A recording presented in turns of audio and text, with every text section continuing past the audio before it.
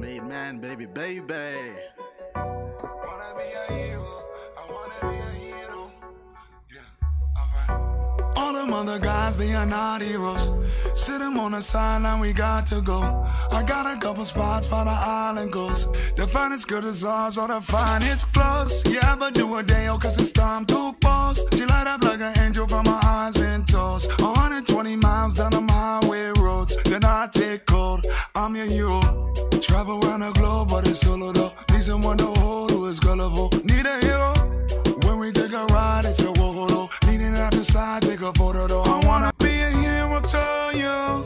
Quiero ser el héroe tuyo And you can tell me where to go to. y vamos a viajar el mundo. Cause I wanna be a hero to you. Mamacita eres hermosa, sos una diosa. I know you want a hero for you in your life. Life. You can see the sky, I can see your eye. You and me tonight, be alive. This could be your life. Say it be alright. Do or die. You can feel the vibe, see rise. But I need to see a sign. Breathe and kiss and fly. Mamacita, eres todo para mí. Eres única, eres única. Y mamacita, ven aquí para mí. Eres única, eres única. I wanna be a hero to you. Quiero ser el héroe tuyo And you can tell me where to go to. y vamos a viajar el mundo. Cause I wanna be a hero to you. Mamacita eres hermosa, sos una diosa. I know you want a hero for you in your life. Life. Mami, en el rojo. Me andan diciendo que estás buscando un héroe. Que te saca a pasear todos los sábados en el rojo. Hermosa. Quiero que sepa que eres la mujer más hermosa que he conocido en mi vida. Beso. Quiero viajar el mundo y hacerte reír todos los días al amanecer. Preciosa. Solo dime dónde quieres ir. Y viajamos first class. Let go. Mamacita, eres todo para mí. Eres única, eres única. Y mamacita, ven aquí para mí. Eres única, eres única. I wanna be a hero to you. Quiero ser el héroe tuyo. And you can tell me where to go to. Y vamos a viajar el mundo. Cause I wanna be a hero to you. Mamacita eres hermosa, sos una diosa. I know you want a hero for you in your. Life.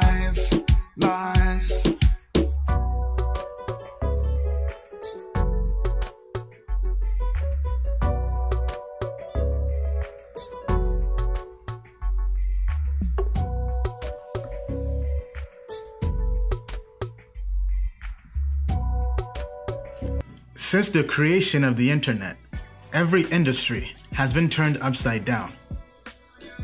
Amazon changed retail. Uber changed transportation. YouTube changed video forever. With the invention of crypto, money is next. At the speed technology is growing, the future of money and securities are digital. 9 out of 10 millennials do not trust banks. The value of money relies on trust. Government debt is higher than it's ever been before. Central banks continue to print money. Fortunately, the world has a new solution. Experts predict in seven years, 10% of the world's economy will be in crypto based assets. Today, 1 billion people have access to the financial industry. Crypto is about empowering the other 6 billion people by banking the unbanked. Do not underestimate this. Do you wish you invested in Google, Amazon, or Netflix before anyone ever knew about them? $1,000 invested in Netflix turned to over a half a million dollars. At Token Metrics, we help you find the next Netflix. Token Metrics users think differently about investing. They are early adopters looking for financial freedom. They are people who see a better world. A world without international borders. We believe in a world where everyone has access to the next financial revolution. At Token Metrics, we are creating a bridge that gets you to that revolution. We will help you make sound investments in this new world. The world's best investors do not rely on their intuition. They embrace technology and AI to invest. Token Metrics uses AI to find invisible patterns in data to help you invest and trade in crypto. In the past, we have used our data driven system to achieve financial freedom. Now, we are giving you the keys. We created Token Metrics to be the only platform you'll ever need to make money in crypto. We give you AI and access to crypto experts at the best price. The moon is not the limit. To the moon and beyond.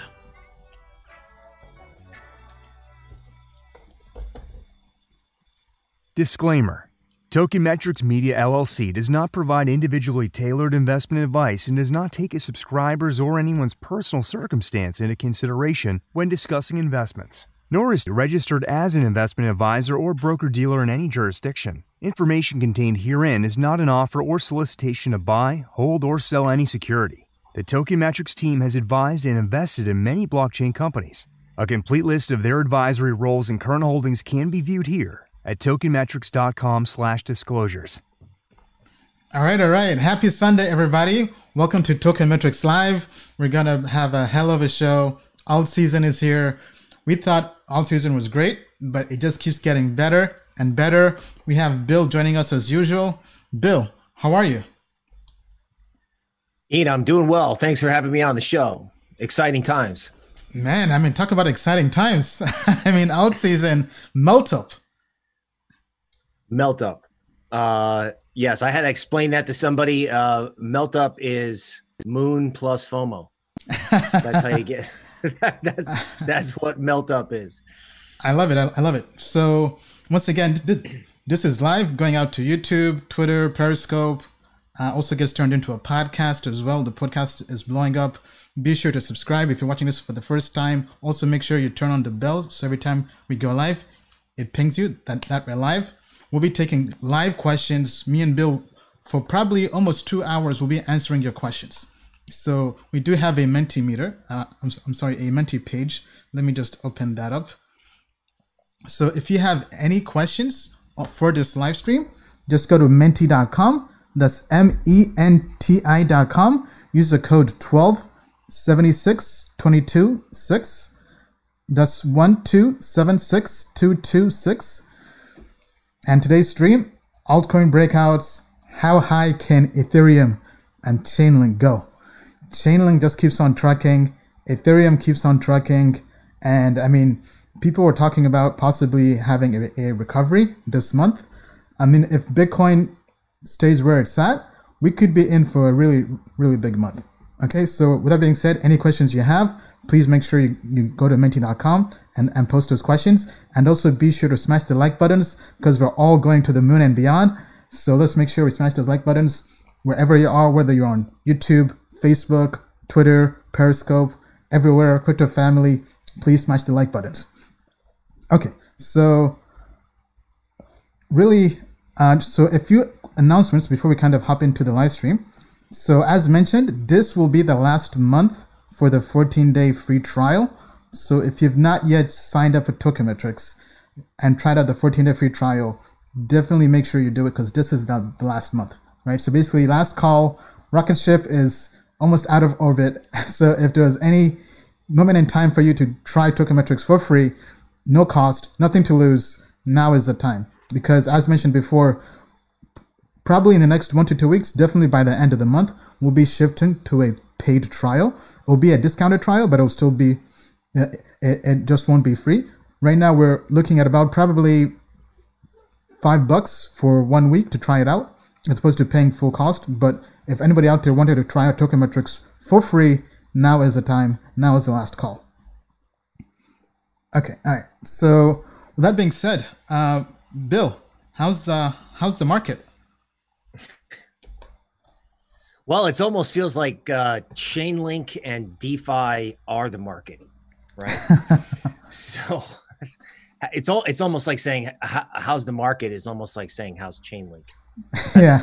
It, it, feels like you know it's like Bitcoin 2017 all over again. Yeah. Um, I think this continues until Chainlink is bigger than Ripple. I think so as well. Chain, which means Chainlink could double, right? So from here, and then you know some of the work that I did in you know for our, our regular customers, mm-hmm. you know I said you know we're big fans of ringing the register of taking profits in you know the DeFi space, or at least you know that's what I was telling people because that's prudent. But then I started looking at the charts, Aave, Ren, and I was like, this stuff could literally melt up. And again, melt up means go up, go straight up, or as I said earlier, you know, moon plus FOMO. Uh, yeah. I, I mean, words, so- it goes up so much, it like shocks people. And, and I think that that may only be getting started like in, in all of these spaces, like one thing at a time is going to have moon plus FOMO until either Bitcoin or the government stops it. Yeah, yeah. I mean, so because Aave surpassed over a billion dollars in terms of assets locked up, I believe. Uh, here, I'll just pull, pull up DeFi Pulse. I know Maker has over a billion dollars in terms of assets locked up. Let me share my screen here. So Maker, Aave, and Curve Finance briefly passed over a billion dollars in terms of total value locked up. So we have over $6 billion locked up in DeFi. I mean, this is incredible. Less than three months ago, DeFi was under a billion, and now it's basically 6x in three months.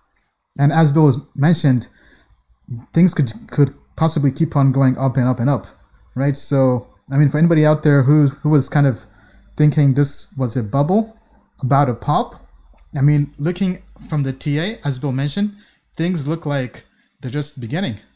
Uh, back to you, Bill. Yeah, I mean, nine billion sounds like a big number when it was one billion a couple of months ago. Mm-hmm. You also got to remember the Fed printed 2.6 trillion in March. nine billion really is not million. a big number. Yeah. It's not. Right. I mean, nine billion is a big number if DeFi's closed and it's and all that money's gone. But yeah. that seems that seems highly unlikely. Right. Yeah. It's it's almost like, you know, in crypto from 2018 where we sometimes brace for that knife experience, right? We're all afraid of that happening again. My theory, based on some of the things I just looked at very simply, was like, you know, this is like, this could be 2018 in reverse, right?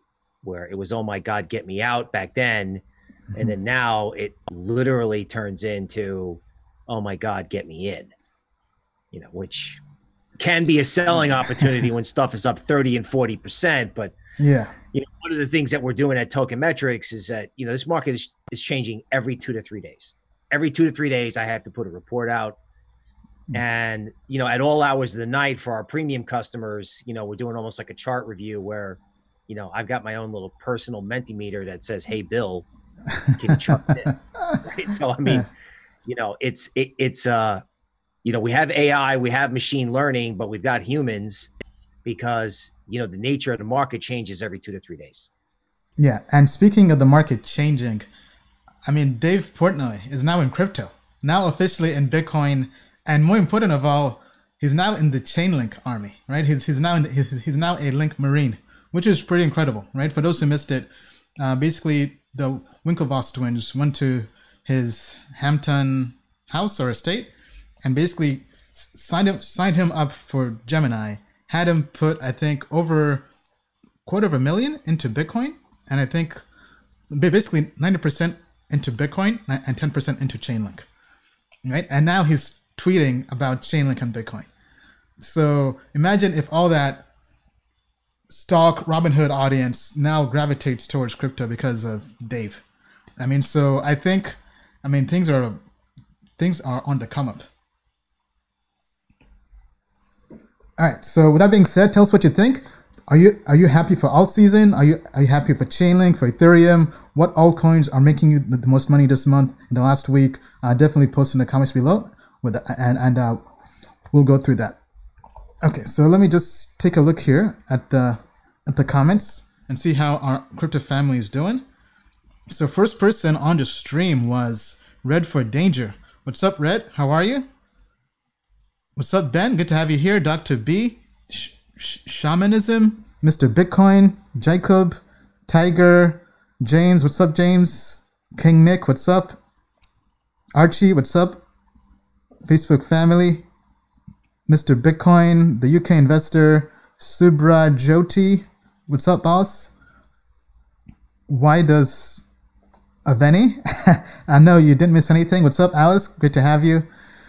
I mean, for Awesome, awesome crypto family. Be sure to smash the like buttons.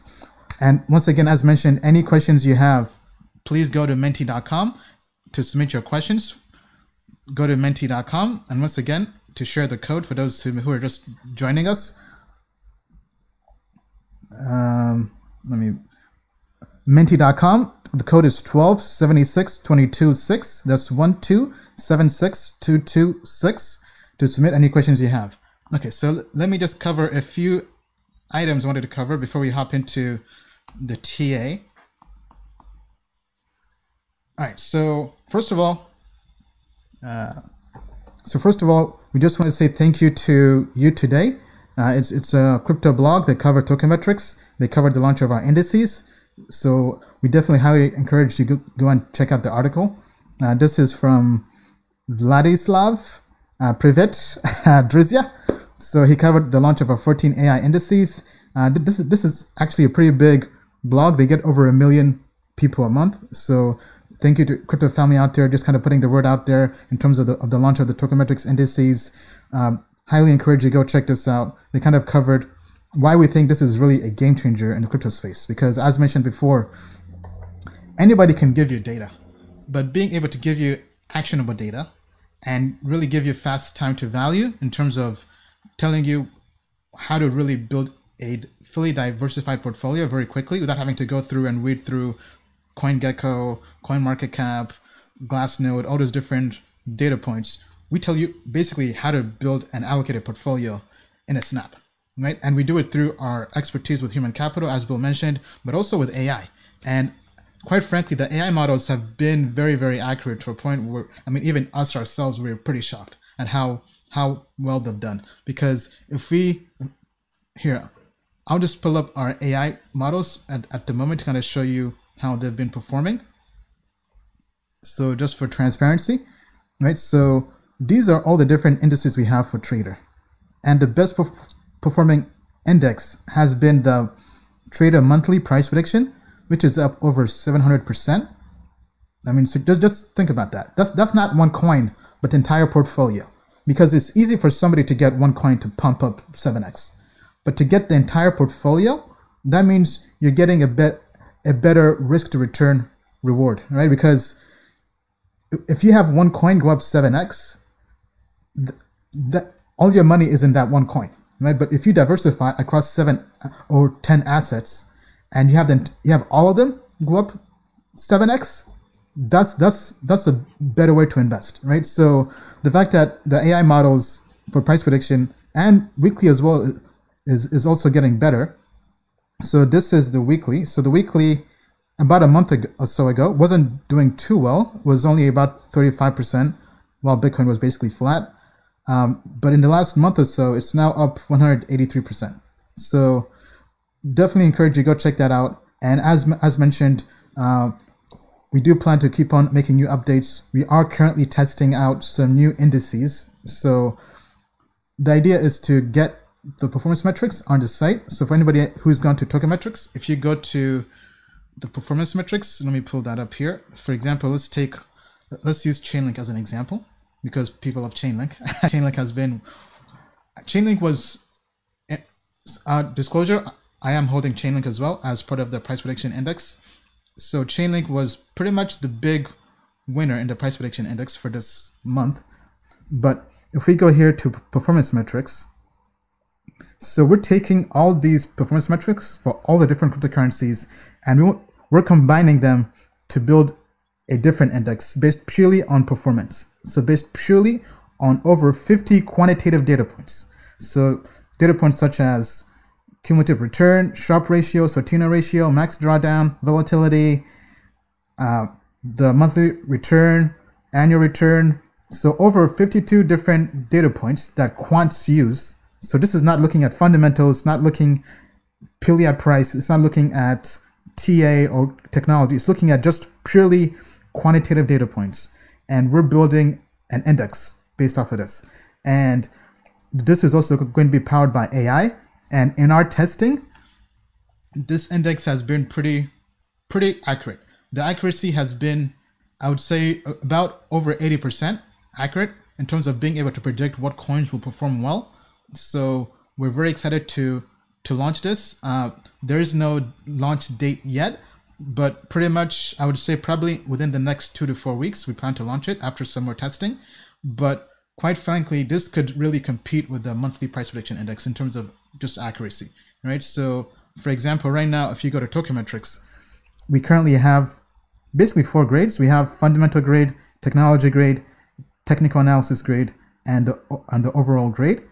And the plan is we'll now add a fourth grade called performance metrics grade or just performance grade, right? Based purely just on quantitative data points.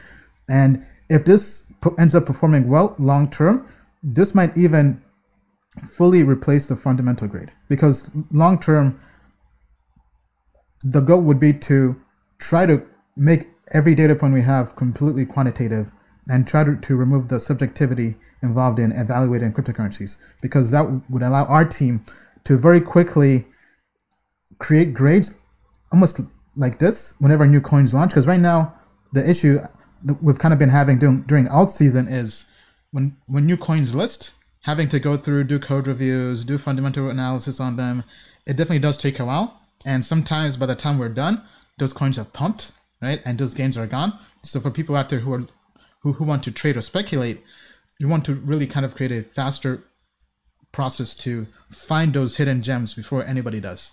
And actually, I can pull up a list that we, we have been testing at the moment. Now, just give me a second here. So to kind of show you how how pretty accurate it's been. So in testing, the the performance metric index, the top 10 coins based on performance, based purely on, on performance metrics, are YEarn, basically YFI, Band Protocol, which has been a winner already, BZX, Cardia Chain, Tellor, uh, Melon Protocol, Darwinia, Sora. Sora has done a 50x, so uh, based on on this index, it would have had exposure to, to those returns.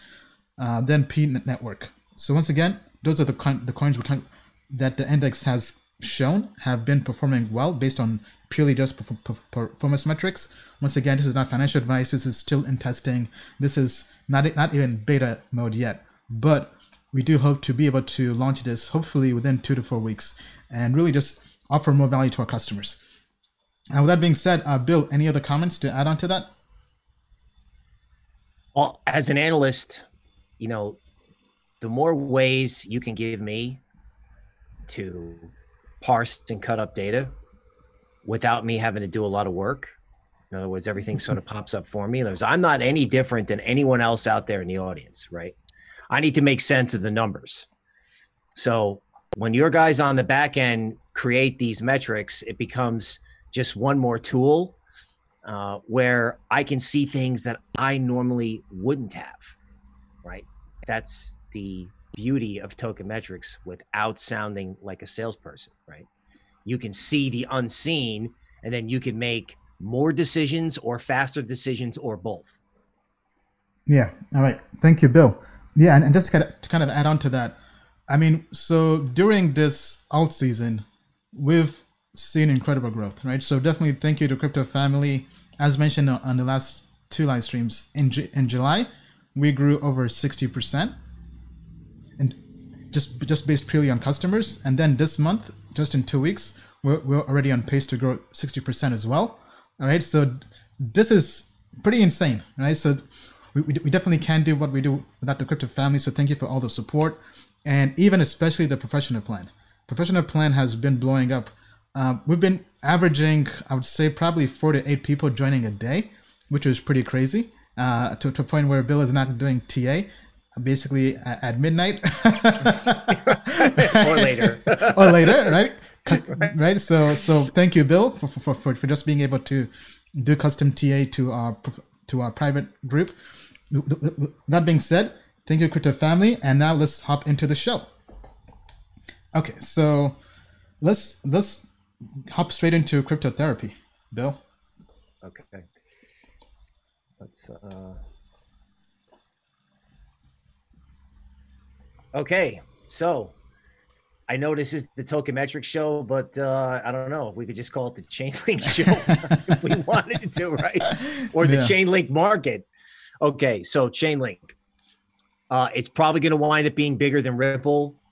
Uh, right now, it's larger than life. Um, I know that people probably feel like they missed it and can't get involved. Uh, people said that at 10, 12, 14, 16 uh, and they may say it all the way up to 24 okay? Because these sort of these lines the way i've drawn them they're called Gann lines.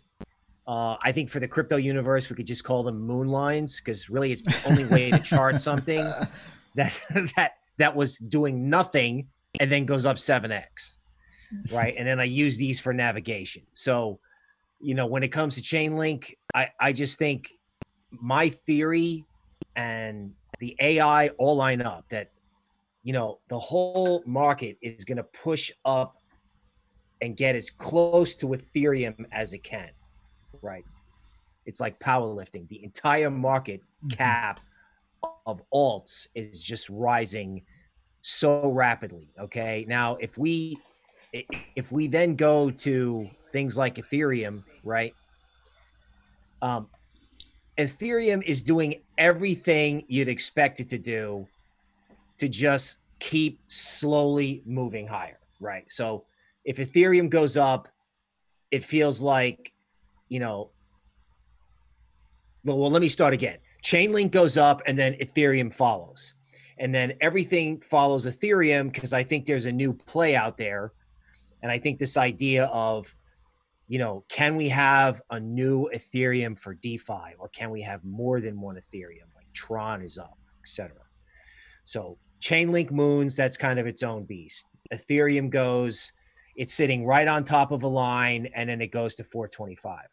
And I've got other work in Ethereum that says when Ethereum rallies from this point out, it's in $50 increments, right? It just keeps building up steam. Now, speaking of steam, let's talk about the monster, right?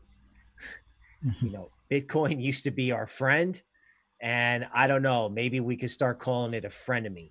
Okay. because, okay, so I, I sit here and I look at this Bitcoin chart. I go, okay, if this goes to 16,000, you know, the alt party is going to, I mean, it's going to be like a high school party getting broken up, not by cops, but by SWAT at 16. it's not going to be good at all. Yeah. At all. Okay. So sideways Bitcoin is everybody's best friend.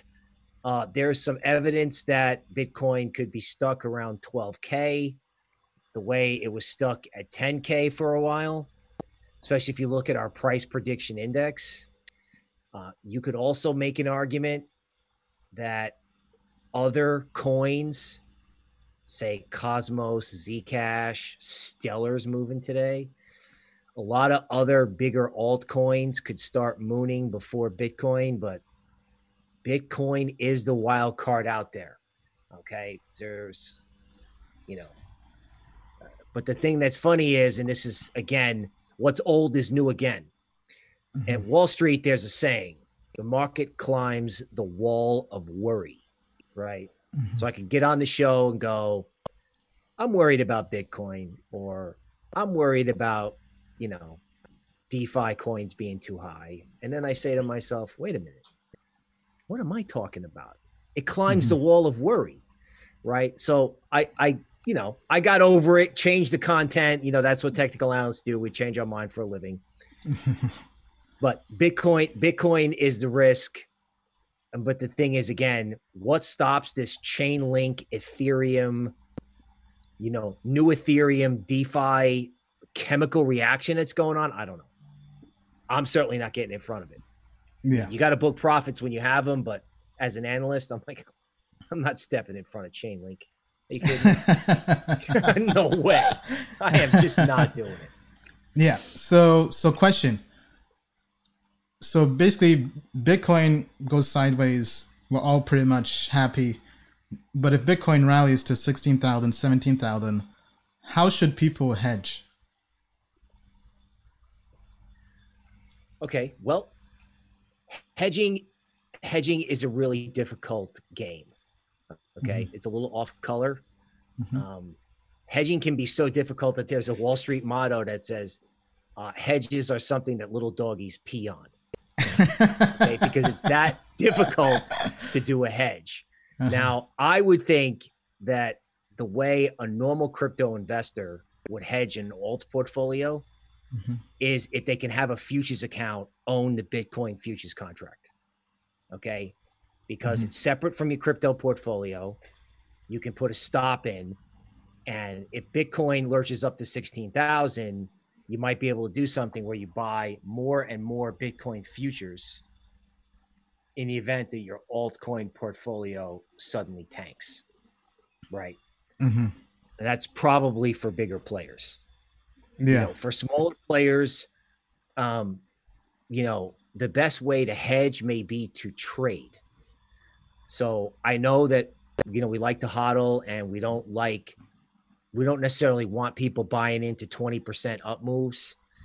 Uh, but the thing is, if you can get out on a 20% up move, wait a day, see if Bitcoin moves, and then get back in, you can be what I would call nimble. It's a it's a form of active portfolio management, right? Right. Here's another here's an example from equities when people had to do it during the financial crisis, right? This was in a down market, so people the market would go down and then people would cover because they didn't know if a government official or if some positive news was going to come out that might cause the market to lurch up. So they would almost, you know, they would have their portfolio, they would own it during the day, but they would take some of it off at night. Right? With Bitcoin it seems like the weekend, right? Like I get off the call and mm-hmm. I, I, I am my personal wall of worry as I talk about the market. We get off the call and all the hedge funds are coming in and the market moves 4%. As soon as we're done talking about it, I go, please let me be on the right side. So to make a long story short, um, you can have a portfolio, but you can move in and out of it. You can be in it on Monday, out Tuesday if you're worried, and then back in Wednesday. So that's how I would answer the Bitcoin question. Now, that's not the way you would normally do it, but when you have something as monstrous as Bitcoin, that's how you have to play it.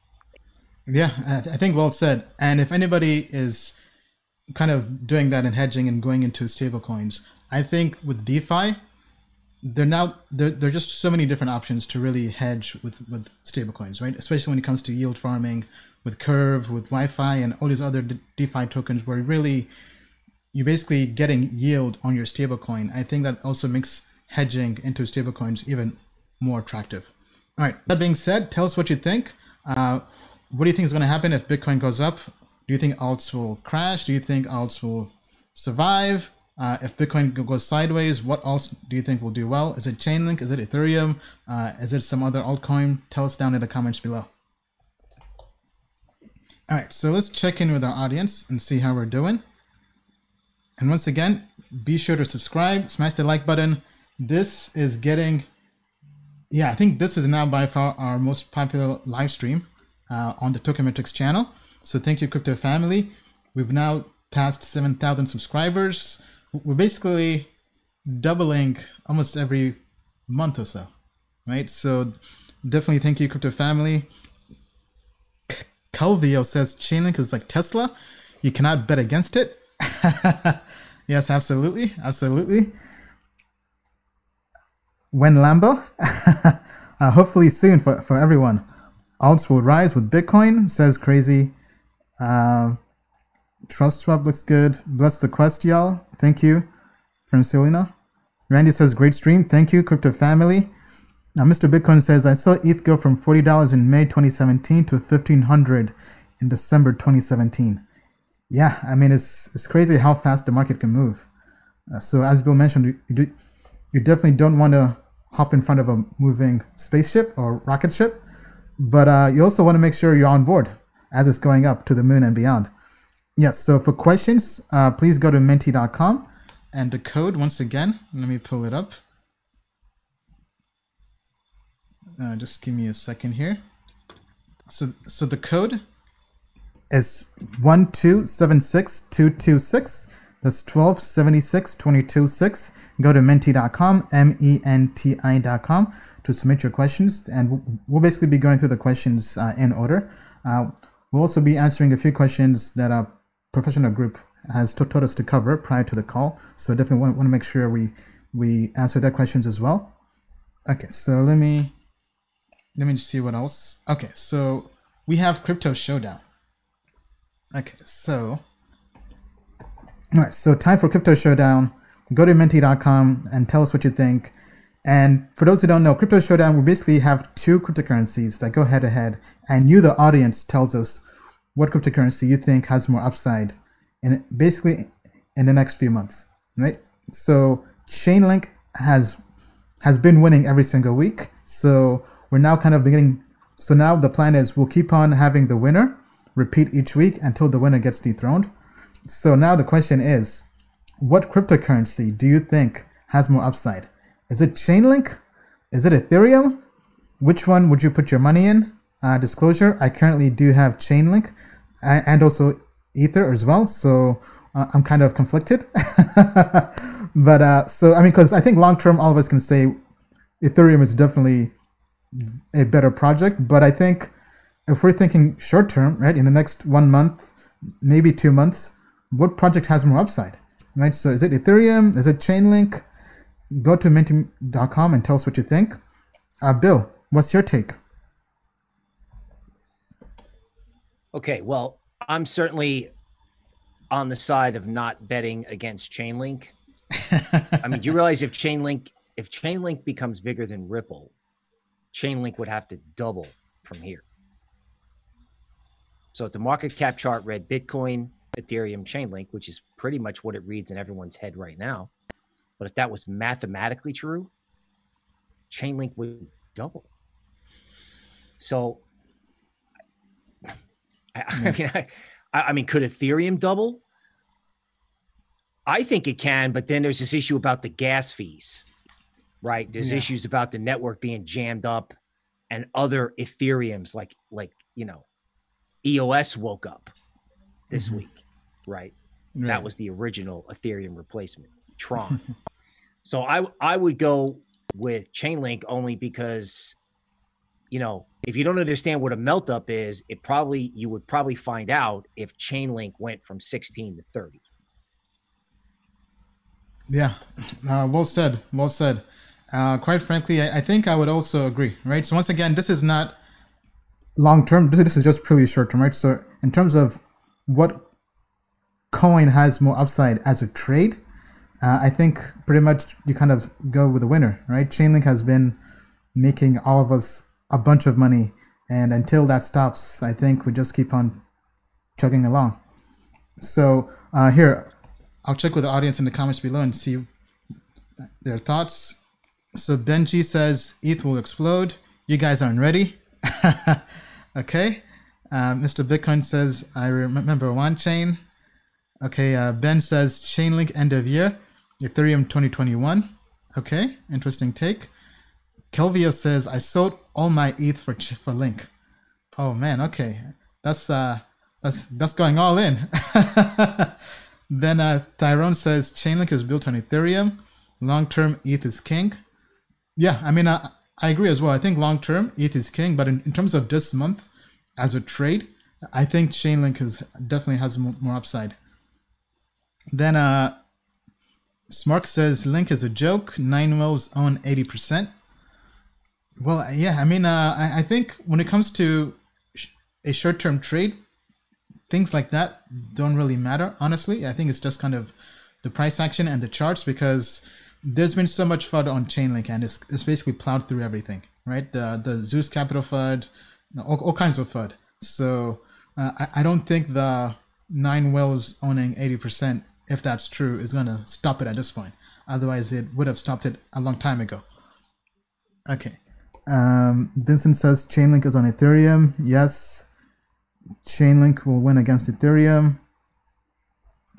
All right. So, all right. So let's let's see who the winner is. So, the people have spoken, and wow. Okay. Chainlink has been defeated. The people have chosen Ethereum. Ethereum as the winner for Crypto Showdown. Um, I'm actually not too surprised. I mean, because Ethereum does have a huge, huge market cap, huge audience, right? So I think lots of people are kind of viewing it as a long-term investment, right? Which does make sense. But but I think I think short-term, I would still kind of go with Chainlink, even though I have both Ethereum and and Chainlink. I think short-term as a trade, just because Chainlink has a lower market cap and has just more room for growth, right? And kind of as as, Bill mentioned, with with Ethereum, one of the things that's really kind of annoying with DeFi, the gas fees. I mean, having to pay 20 bucks for 40 bucks, I mean, just to do a transaction, I feel like I'm getting nickel and dimed every single transaction. And the, the, the entire point of crypto was to not have the same transaction fees and, and just fees in general as banks on Wall Street. But if they're making if, they're bringing those same fees onto the blockchain, it kind of defeats the purpose, right? But I mean, I am still bullish long term on, on Ethereum. Actually, probably I'm definitely more bullish long term on Ethereum than Chainlink. But short term, I think Chainlink has uh, more upside. Um, any other comments, Bill? yes when you when you're in one of these phases where you know each sector of the market goes up 15 to 20 percent of the time once something gets loose like you know it, it goes without saying that as chainlink moves up the market cap ladder that can also push ethereum i remember when ethereum and ripple used to go back and forth right you know Yeah. ripple would you know, eclipse Ethereum on the market cap chart, and then Ethereum would just rip to the upside. So, you know, Ethereum can rally in $50 increments. And I think one of the big questions that I don't necessarily have an answer to is the real way to determine who's going to win between these two currencies or these two coins is going to be when hedge funds or big institutions you know, like the Winklevoss twins go visit somebody, and that somebody goes, "Oh, gee, crypto, wow." Okay, when that starts happening at the institutional level, particularly when they're all on the beach watching Chainlink double, okay, Ethereum, Ethereum may be the only place where they can go jump in and get involved because they're that big. So I don't want to act like there's no Ethereum story. Mhm. Uh, I get what our audience is saying. It's just, um, you know, it's never the same thing. History does repeat itself, but it, it's never the same thing twice. So, you know, it, it feels like a melt up, but you know, I, I can't, I can't completely tell you how it unfolds. Otherwise, we could have this meeting from my yacht, right? Yeah, absolutely. All right, well, tell us what you think. Uh, are you more bullish short term as a trade for Ethereum or Chainlink? Tell us down in the comments below. Okay, all right. So now moving on. So we have one more question of the day. Now this one, uh, I think is going to be heavily contested, or maybe not. Okay, so go to menti.com, M E N T I.com, use the code 1276226, that's 1276226, and tell us what is the top blockchain out there. Right, so the time for everyone who has a favorite blockchain to have their voices be heard. Tell us what blockchain are you more bullish on? Is it Ethereum? Is it Cardano? Is it Tezos, EOS, Zilliqa, Stellar, or Tron? So seven blockchains, uh, all of them basically smart contract blockchains, DApp blockchains. Which ones do you think have more upside? Now, to cut, let's kind of frame the question. Let- Let's say long term, right? So, long term, which project, which blockchain would you put your money in?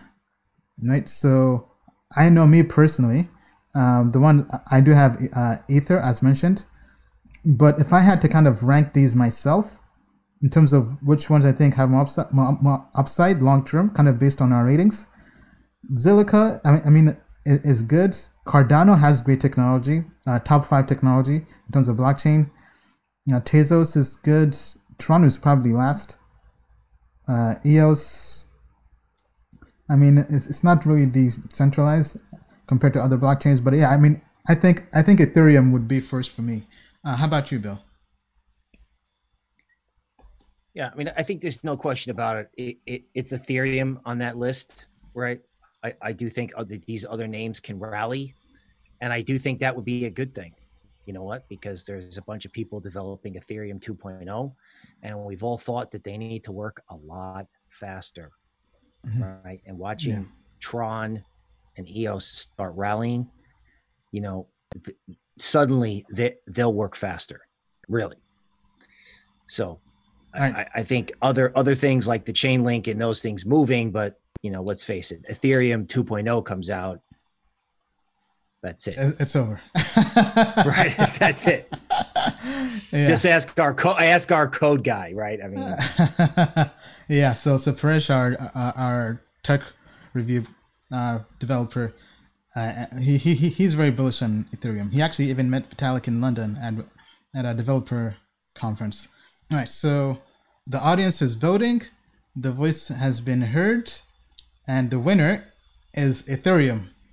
Shocker, shocker, not really. But I think what's really more interesting is just the, the, the, the order, right? So second place to last. So we have Cardano, number two, Tezos, Zilliqa, EOS, Stellar, and Tron. Not surprised with Tron being last. Cardano being number two makes sense, I think, as well.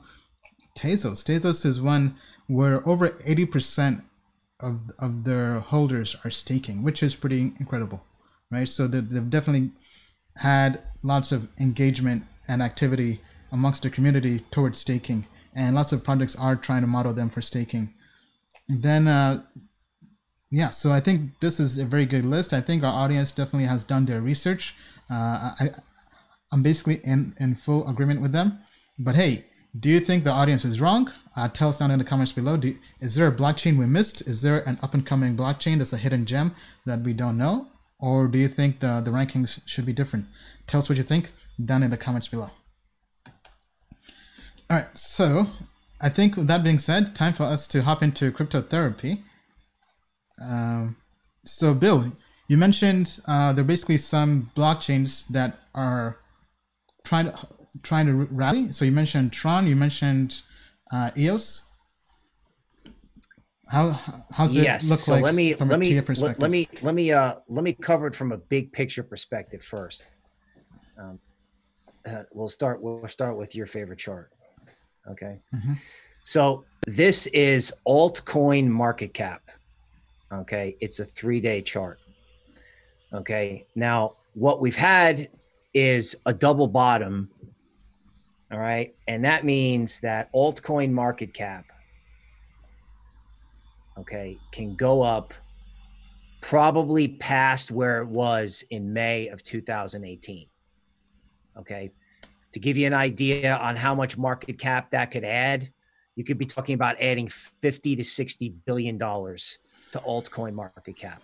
Wow. Now, right. So if that happens, that's going to have to be led by you know your Cardanos, your Tezos, possibly your EOS. I don't know if Bitcoin Cash can get involved. Litecoin could wake up for God's sakes. I, it, it it's fair game.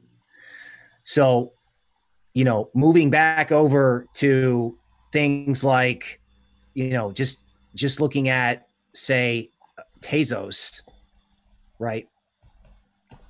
Bringing the chart up now. Okay, there are a lot of charts in the sort of big alt or Ethereum competition space that are making big green candlestick breakouts. Okay, uh, I was looking at EOS, EOS versus Bitcoin. Okay, and this here looks like everyone just gave up, right? Everyone just said, "Oh, you know what? Uh, this is not going to participate in the rally or in DeFi or whatever. And then I saw this thing go green a couple days ago, and it reminded me of an article that Multicoin Capital wrote about that coin. Now, I know that coin has its problems, right? Mm.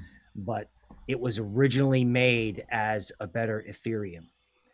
And that whole theme is fair game. There's nothing wrong with Ethereum. They know that we know they're going to get it together for 2.0. But yeah, could somebody absolutely. sneak in, right? And with the way they can release these DeFi coins, right? Like, you know, we got five or six a day or more coming out onto these decentralized exchanges.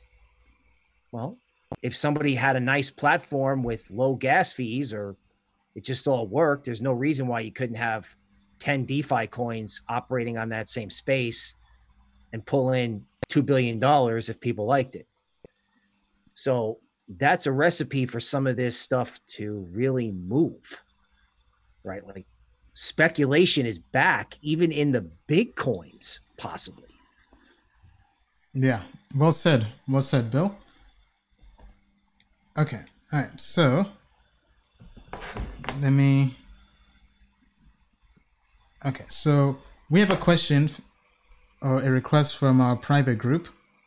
So somebody wants to take a look at Binance BNB. Could you pull that up?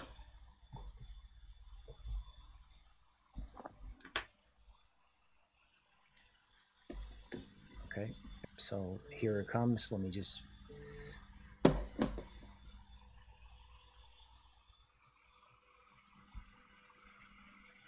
Okay.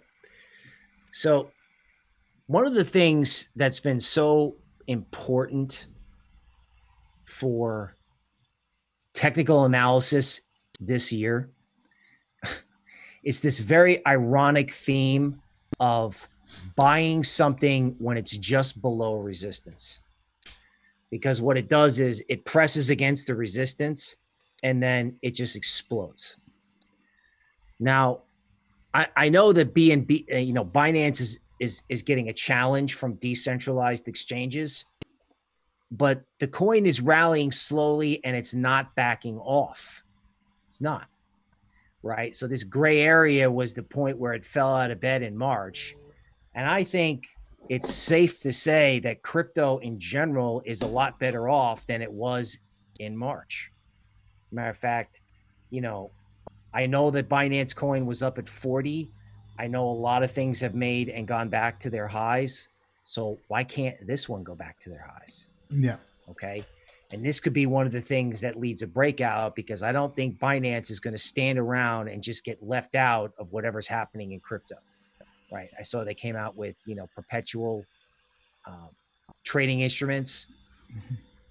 You know, these guys are going to innovate and they're going to innovate quickly. So yeah. this whole idea of not fading something that's doing this creeping move towards resistance is a huge technical theme, and I, it's kind of worked every time, right? On quality mm-hmm. coins. Yeah. So actually, there's a request from Joe Ball. He says, "Could you take a look at uh, BNB versus ETH, basically altcoins versus Ethereum, as opposed to USDT, just to kind of see how that's playing out?" Okay, so he wants to look at BNB versus Ethereum. Yeah. In terms of trading pairs. Thank you for that request, Joe. Okay, all right. I'm going to bring up the chart, and then uh, you know this is uh, kind of like homemade gravy, where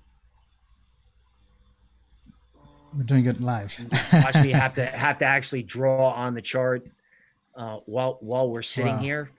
Okay, so obviously, hmm. you know, the Ethereum rally has kind of, you know, left this coin, you know, left Binance coin in the dust. Okay, now to me, it's very difficult to want to give, to want to catch a falling knife.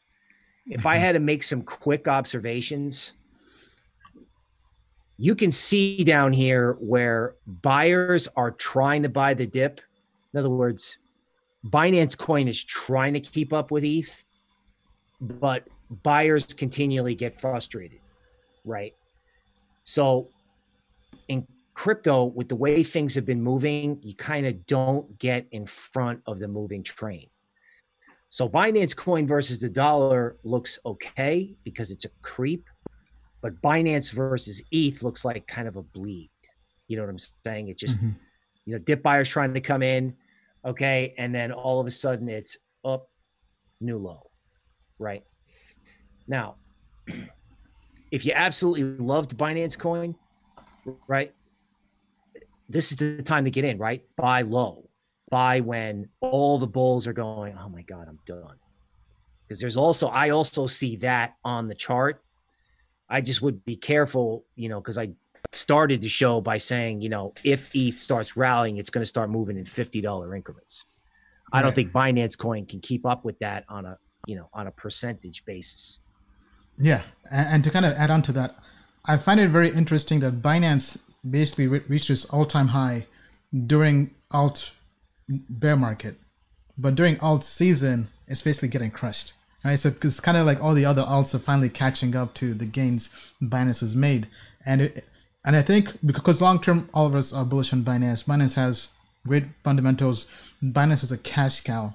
They're basically printing money, and I, I don't really see them going away anytime soon, right? So the fact that lots of people now are now really in DeFi, even if centralized exchanges have to innovate and make new business models, Binance is in the best position to survive. Right? So I think if, if, if anything, the mid tier and low tier exchanges might become extinct because of DeFi, but Binance will still survive because Binance has so much cash on hand that they can't really die right? So, so kind of as Bill mentioned, I think right now people are kind of looking at the shiny new sexy DeFi protocols, and they, they they're basically forgetting that Binance is a legit company.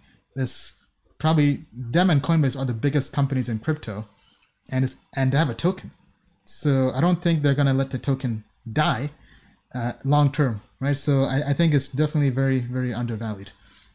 But that's just my opinion. That's not financial advice. Uh, as usual, do your own research. But tell us, what do you think? Are you bullish on Binance, on BNB? Do you think uh, Binance will bounce back uh, during alt season? Do you think there'll be a time for it to rally? Or do you think everyone is going to DeFi? Tell us what you think down in the comments below. All right, so be sure to smash the, the like button, subscribe. Let's check in here with our audience and see how we're doing. Yes, yes. So for questions, please use the Menti code 1276226. Send your questions there. Okay, somebody, uh, Vivid says Bitcoin is getting ready to pop. Um, Yunus says uh, Tron is dangerous. Okay, thank you for the for the tip. Uh, Game says, have you checked out Mooniswap.exchange or She Gas? CHI gas. Yes, so I do have CHI gas. Actually, let, let me let me try to cover this because we did cover this on our on our private call, but I haven't really covered this publicly. But I think it will be something valuable to anybody out there who's who's basically in in DeFi. Right. So let me share my screen. So if you're in DeFi and you're trading on on Dexes, I highly encourage you to you use DEX aggregators because they give you the best prices in the market. So for example, Uniswap, if we pull up their exchange here, uh, I forget what trade somebody was trying to make, but there was somebody in our private group who was trying to make a trade, and we basically saved saved them a bunch of money uh, through a, a, DEX aggregator. Uh, sorry, just give me one second here. It's asking me to configure my wallet, which I which I don't want. Okay, I guess that's not gonna. Sorry, having some issues here with MetaMask. uh, okay, but either way, anyway. So let's say you come here, you want to make a trade, a swap, right? Um, let's say you want to swap from from ETH, right? In this case, right, in my Trust wallet, uh, let's say I want to swap for ETH and I want to swap to let me let, let me find a token. I think it was. Okay, I don't have any elf. Okay, right. So in this case, let's just say ETH, and I'm trying to swap to some random token called AMN.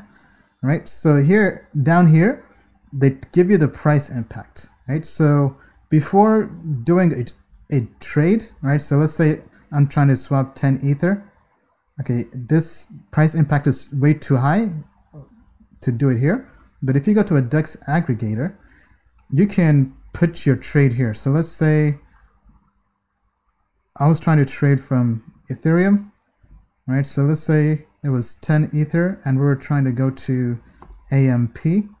Not, okay, they don't have it here. But anyway, what, what this does is it gets your trade and it divides it across several dexes to get to the best prices, right? So basically, you have less slippage and you end up saving a lot more money, right? So in this case, for this trade, it basically sends everything to one, ex- one to one dex. However, if you have large orders, it divides that up and sends it to several dexes, so you get better price execution, right? So you this includes Mooniswap, Oasis, Kyber, right? All all all the major dexes giving you the best price action. So I definitely highly, highly encourage using platforms like this as opposed to using one specific DEX because this will always try to get you the best price. Now, let's say there's only one DEX, right? I, I, I would say, let's say you mainly use one DEX and that gives you the best price, then that's fine. But I would still, prior to making any trade on that one DEX, come here and compare just to make sure you, you aren't getting nickel and dimed with with fees, right? Because one of the downsides of DeFi is you have to have lots of money to really be able to make money, right? Uh, so if you're able to kind of minimize the cost and transaction fees you're paying, then I think that definitely adds, adds, adds up to more money in your pocket. So I highly encourage you check that out. Um, but yeah, that's, that's kind of my take on on that. Uh, Bill, any any comments? Sure. A lot of people, possibly including me, you know, would think that DeFi and, you know, Uniswap is like a casino. But when you start seeing DEX aggregators, okay, you start seeing better liquidity. And once upon a time, I actually got to witness the creation of better liquidity in things like foreign exchange and the US Treasury markets. Okay. And the more liquidity you have, the more legit you are for trading and investing. So, for the DeFi detractors out there, this type of stuff that makes it easier, okay, makes it more like the economics book where it's more efficient. Okay. I know it's kind of boring, but it, it adds to the long term viability of the DeFi theme. Yeah. All right. Thank you, Bill. Okay. So I think without further ado, time for us to to hop straight into the AMA. I think people have, have put in all their questions. Okay. All right. So first question uh, is actually a question for for Bill. So question is, how high can waves go? So that's waves blockchain. That's the, the Russian blockchain. So let's have Bill pull that up. Uh, I can also pull up that on my end and see what the price prediction models have to say on that. Okay. Yeah, no, I, I, uh, I I've been watching this. All right. So, okay. So if we look at it like this, it looks like a lot of other coins where it just sort of sat there and went up a lot and you missed it. Can't do it. Okay. And if we have the right symbol, right? That is the right symbol. Waves. Yes. Yeah, waves. Okay. All right. and then we do this, realizing that waves all the way back in 2018 was at 22. All of a sudden at four, it doesn't look that expensive. Now, one of the themes that I've been looking at in waves. So the answer to how high can it go? Uh, it, it can go back to where it was in May of 2018, right? In other words, clearly whatever which is like eight and a half okay basically my thinking is it's very simple it's like crypto, the story is so much better than it was in the middle of 2018, which was really, I don't know, it was kind of a Bitcoin and then wild speculation was like the other theme. This is like the development of a whole new financial system, right? So there's no reason why things can't go back to where they were in 2018. Like back then, it didn't make sense. Now it does. So why not go to eight, right? And that's why it's trading like this. Uh, this also fits the idea of the bigger the, the bigger the base, the higher in the space. In other words, it sits for a long time. Bulls give up, and then it goes. Yeah, well So, said. You know, as long as long as there's any FOMO out there, Yeah, so actually, let me pull up the price predictions and see how they're doing here. Yeah, so price predictions, it's it's really kind of as Bill mentioned, it's now it's now kind of basically going towards the moon, right? So our predictions around May and June were actually higher than than the actual price.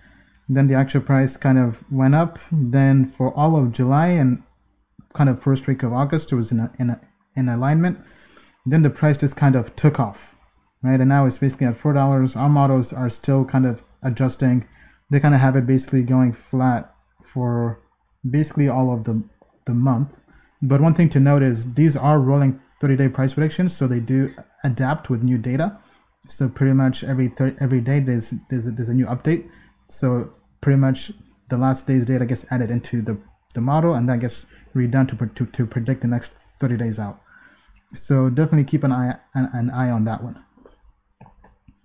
Okay, all right. So thank you for that question. Uh, let me go to the next one.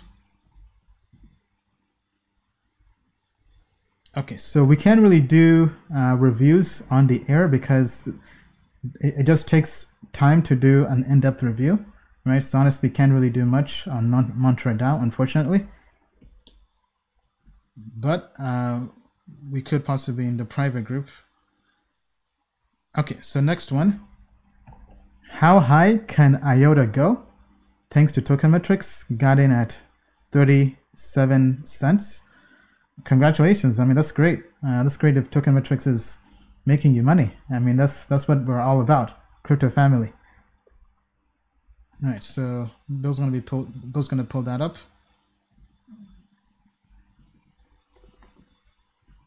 Okay, so here's uh here's IOTA versus the dollar. I'm actually going to switch the time frame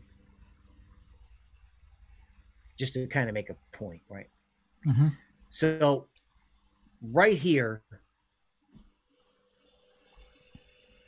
is where everybody started to give up. Right? That was the start of the 2020 give up trade, which was of course added, you know, exacerbated by the virus situation. In terms of how high can IOTA go? Well, why can't IOTA, now that we're at this point where we're going from disbelief to belief, right? In other words, we've just kind of gotten back to neutral. They just mm-hmm. unwound the calamity from the spring. So, if in October or August of 2019, or July of 2018, this was near a dollar. Okay. Now I I don't. Some of this is going to sound like I've, be, I've I've turned into a moon boy or something. I drank some mm-hmm. potion, and it's not. But if you ask me, how high can something go? Right. It, it can go. It can go back to where it was when all the pain started. Right. There's a lot of resistance here at 50 cents. So, you know, some consolidation at that level may be warranted. But if you say, how high can it go? Right? It's like physics speed, magnitude, and direction. In other words, what goes down one way, or, you know, the speed of the down move, the up move can be the same speed. So if it melted down in 2018, it can melt up in 2020. Now, is IOTA one of those candidates? I don't know. We have to see what happens at 50 cents, right? But if you like it and you're long it and you want to stay with it, by all means. Yeah, I mean, because I haven't really heard much on IOTA since since 2017, quite frankly, right? Because back then they had the, the whole partnership. Now going to our price prediction models on IOTA, so they're they're they've been pretty close, pretty accurate actually. So all the way since May, pretty much in alignment. Then they have IOTA going all the way till 46, 47 cents, then kind of going sideways. They they aren't really predicting any kind of major crash or pullback. So yeah, I mean models are also pretty optimistic on on on this coin. So tell us what you think. Are, are you also optimistic on, on IOTA? Do you think IOTA can bounce back? Do you think this project is, is done for? Uh, tell us down in the comments below. All right, going on to the next question. So once again, um, we're taking questions from Menti now. Um, we have over 70 questions, so don't think we'll be, be able to get to all the questions. Uh, but if we don't get to your question, uh, definitely do post the question on our forum. Just go to forum.tokenmetrics.com. That's forum.tokenmetrics.com. It's, it's been getting more and more active. So thank you to Crypto Family who's been going there to join the forum. Uh, let me pull it up here on my screen. All right, so we have any questions that you we aren't able to get to on the live stream go post them on the forum and the community can go there and, and help you answer those questions, whether it's a trading and TA question, investing question, uh, question on code reviews, or anything in general, anything crypto token related, go to the forum and ask the question there. Okay? All right, so, okay, so this is on NEO.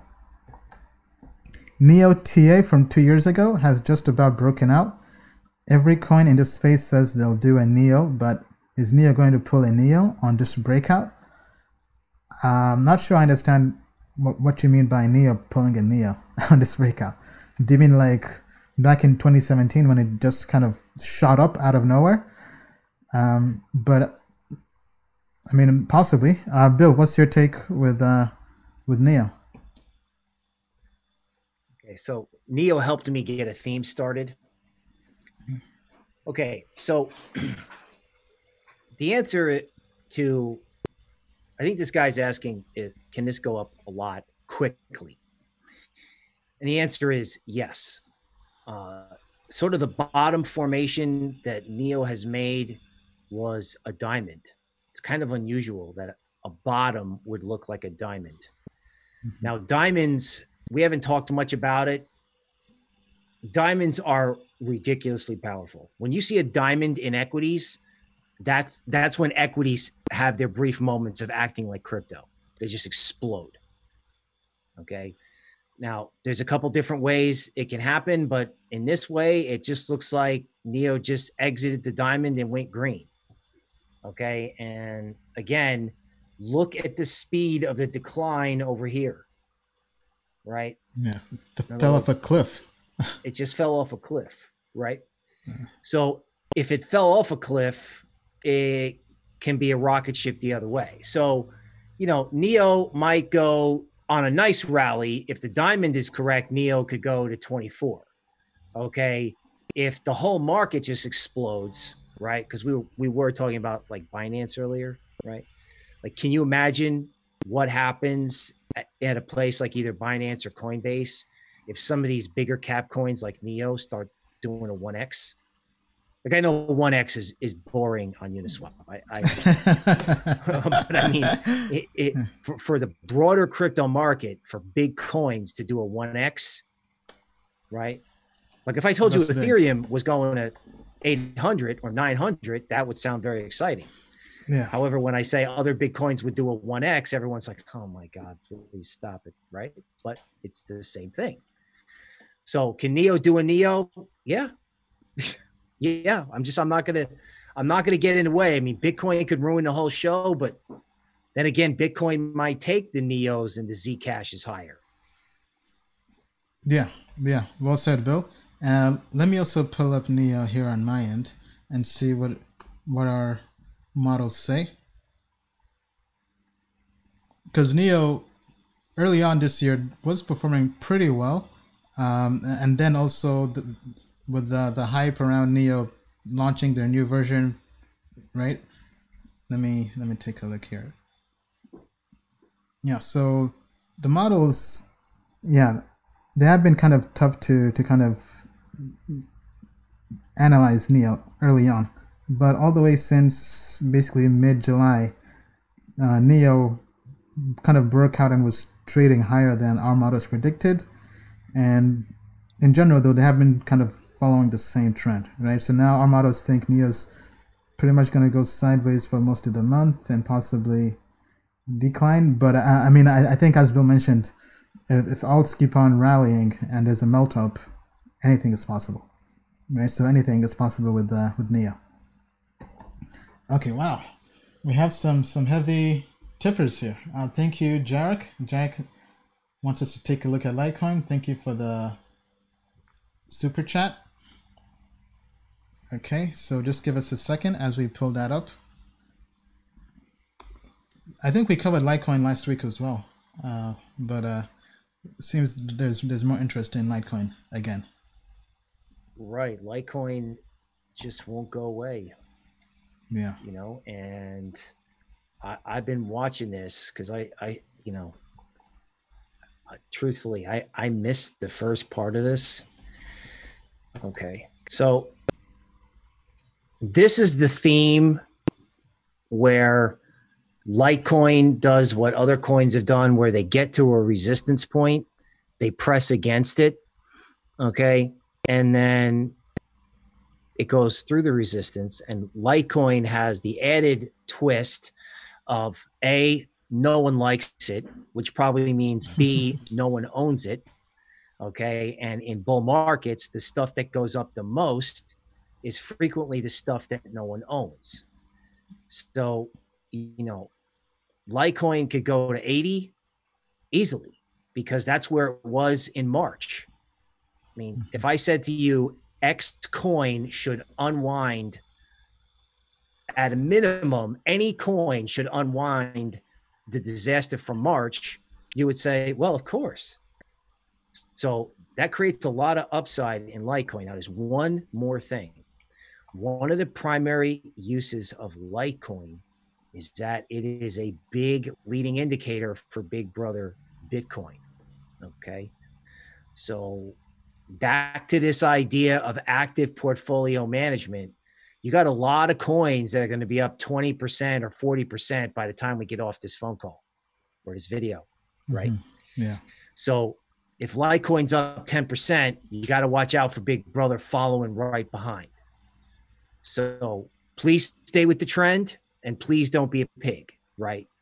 Make yeah. sure you get some money in your pocket. Yeah, absolutely. Especially if Litecoin is moving higher, because it's it, literally it's a perfect leading indicator for Bitcoin. It has been. So basically, target could be as high as eighty dollars, uh, Jared. It could be. Right. So in, in terms of profit taking levels, I mean that's definitely up to you, Jarek we can't tell you what to do, but I mean, eighty dollars, as Bill mentioned, is is a good target, and if it gets there, I mean, taking profits always helps, right? Nobody got fired taking profits. All right, uh, thank you, Bill, and thank you, Jarek, for that uh, tip. Okay, let's go on to the next question.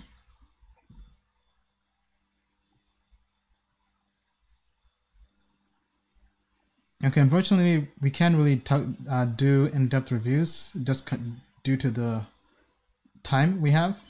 So any project reviews we will have to kind of skip.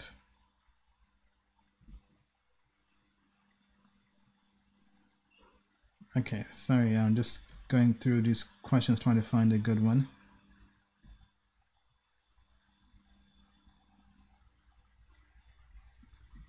Okay, so here's one. Is it possible for Polkadot to have more utility than Ethereum? Um, so very good question. With Polkadot kind of launching and their token coming out this month, I believe the token is going to be unlocked and transferable on the 18th. Right now, right now it's the 16th. So, I mean, I think short answer yes, right? Anything is possible in crypto. That's one thing we've learned. Anything is possible. I mean, just, just, I mean, because if, if had told me when I invested in the private sale of Chainlink back in 2017 that Chainlink would be top 10, top five project. I mean, even even though I was bullish, I wasn't. I was not that bullish. okay, okay. I mean, so anything is definitely possible in crypto. Now, Polkadot does have great technology. I mean, the, the, the tech they have is top five. I mean, possibly maybe even top. I would say top five, top ten. Just based purely on technology, the use case is also a very big use case, right? They're, they're trying to be to be the internet of blockchains to connect other blockchains, Bitcoin, Ethereum, uh, Hyperledger, all these other blockchains, and have them talk to each other, and really build a network of blockchains. That's that's probably the biggest use case in crypto and, and, and the blockchain space because if you can get Bitcoin and Ethereum to talk to each other and be able to transfer value across both blockchains, that is huge, right? So I can. That's why there's definitely lots of hype. Um, they they do have other projects also trying to to uh, to build the same thing, such as Cosmos, Icon, but quite frankly, Polkadot is probably they, they probably have the best chance of just achieving that goal, right? They have Gavin Wood, former co-founder of of uh, Ethereum, so having his expertise, then having all the people building on top of uh, Polkadot, I think it's definitely one to keep an eye on. Now Will it ever surpass Ethereum in the long run? That still remains to be seen. But if they achieve what they want to achieve, then I think that would, be the case because if a blockchain that can talk to both Ethereum and Bitcoin to me would, would be more valuable than a blockchain that that just runs Ethereum. Uh, Bill, uh, any comments on that? Certainly. So one of the things that's good about token metrics is that I can learn something new every day from customers and colleagues. I got this colleague mm-hmm. and he shared his screen. This is about three weeks ago. And this guy gets right to the point and he's like, let me tell you something about Polkadot and all the stuff that they're going to build on top of Polkadot for DeFi. and I got up from my chair and I said, oh my God, if I missed Ethereum like way back when, like way back when, am I going to get or are we going to get another shot at another like Ethereum type platform coming right out of the gate with Polkadot? Right? Like how fast is it going to take for Polkadot to take advantage of DeFi? Or how fast is it going to take for people to go, you know what? Ethereum 2.0 is delayed and that's not a terrible thing because we have Polkadot, right? I, I, I mean, I don't have to know. I don't know the tech details. I just know from listening to this particular person. My mm-hmm. conclusion was, you know, I'm not going to cry my beer about Ethereum 2.0 not being here. Now, what mm-hmm. does that translate to into the value of Polkadot? I'm almost afraid to ask. You know, I'm saying I'm almost afraid to see how people are going to behave. I mean, you know, you think people are going crazy over Chainlink? If the Polkadot story accelerates once it comes yeah. out, right? Yeah. Especially after what I learned, you know, from Frank from token from working at Token Metrics. Yeah, yeah. I mean, I, I think, uh, well said. I think Polkadot could be the next Chainlink type hype, because when they launch uh, this month, basically in, in, in a few days, and tokens will be transferable. Every exchange will list them, and I think once people start seeing what they're building for DeFi on Polkadot that will be interoperable, that's that's like the holy grail. If you can make DeFi interoperable across multiple blockchains, I mean, like, uh, shut up and take my money. shut up and take my money. As we say, right? I mean, because DeFi is already hyped up. If you add interoperability to DeFi, it's like Shut up and take my money. Right. Obviously, not financial advice, but definitely keep an eye out on Polkadot. Uh, we also mentioned uh, a while back about PolkaSwap. Right. PolkaSwap is basically building a DEX for Polkadot and their ecosystem that lets lets you really peer-to-peer swap and, and trade across different blockchains and different assets. So timeline for, for their launch from talking to their CEO, uh, they mentioned probably Q4, Q1 so there's still some time before it launches. But it's also from the same company that launched Sora blockchain, which has already done a 50x. So people, because in order to partake in their DEX, uh, you also have to have the XO, the XOR, basically the the token on their blockchain to partake in that. So so anyway, uh, the, the team is is is pretty good team. We think uh, definitely keep an eye an eye on that. I, I think Polkadot definitely has room to grow. Uh, whether it will surpass the utility of Ethereum, if they achieve what they want to achieve, I think it's definitely possible. But I mean, we also can't really completely push Ethereum aside, right? Because Ethereum is Ethereum, right? But I think Polkadot is the best competitor that has come around to compete with Ethereum in a while. So definitely keep an eye on that project. So tell us what you think. Uh, are you bullish on Polkadot? Uh, do you think Polkadot can compete with Ethereum? Do you think it will surpass the utility of Ethereum? Or do you think Ethereum will keep on being Ethereum and keep on having the, the top spot? Tell us what you think down in the comments below. Okay, uh, great question there. Let's move on to the next one. Okay, uh, this is also a good question. Great stuff. Thank you guys. Seeing as to how high the fees on Uniswap are, is it worth investing anything less than a thousand dollars? Uh, very good question. Uh, I would say, um, in general, if you're investing or trading on on kind of DeFi platforms or protocols, having a, a low amount of capital is not recommended because the fees will just eat away, right? So, for example, if you're if you have one thousand uh, dollars, actually, let me pull it up here. Let's say you want to buy a DAI. Uh, actually, actually, yeah. Let's say you have Ether.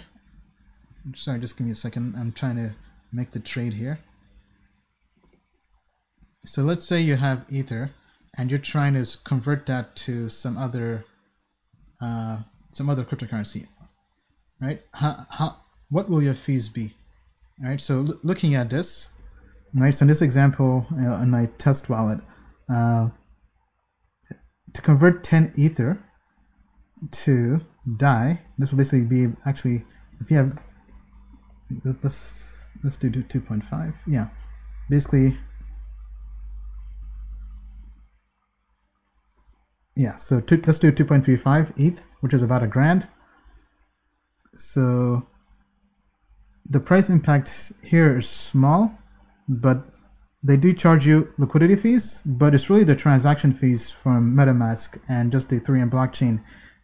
That's where that's where they get you, right? Because if, if I go and try to swap this transaction, um, my ledger is not connected to it, so it's not gonna work per se.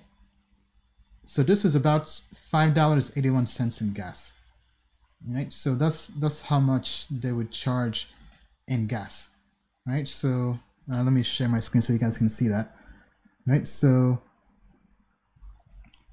in terms of percent wise, right? So we have 581 out of pretty much a thousand. So, I mean, in this case, it's, it's not too much, right? So I think trading wise, it's possible. But if you're doing other stuff such as yield farming or liquidity pools, that's where it really kind of becomes an, an issue, right? So for example, um, if let's say I want to add ETH to, what do I have here?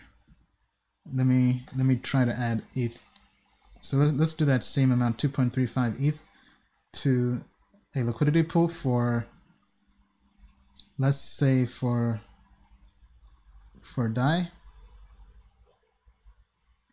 okay in this case because it's not working. Anyway but anyway long story short uh, definitely be cautious of the fee of the transaction fees. Uh, i know a workaround people were using was to use basically mobile apps but it, because with some mobile apps as a way to kind of onboard people into their app they were covering the transaction fees and people were basically kind of saving a bunch of money. But even now, I I believe it was was it Dharma?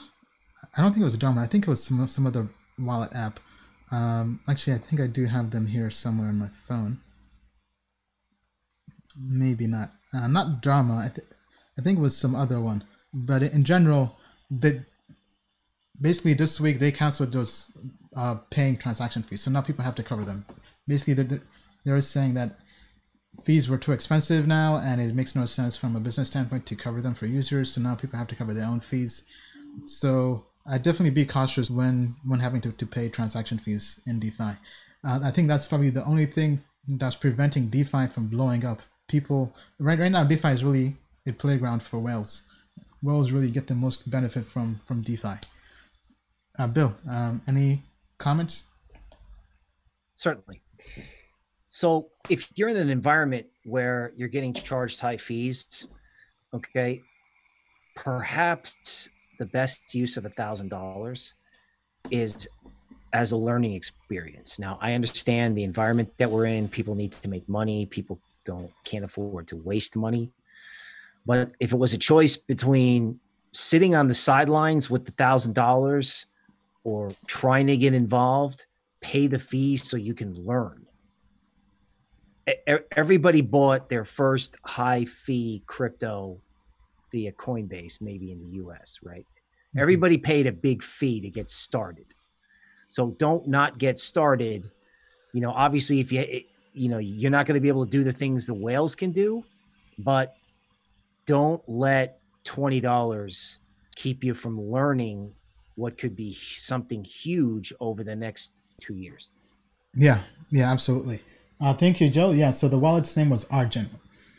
So Argent is not paying anymore.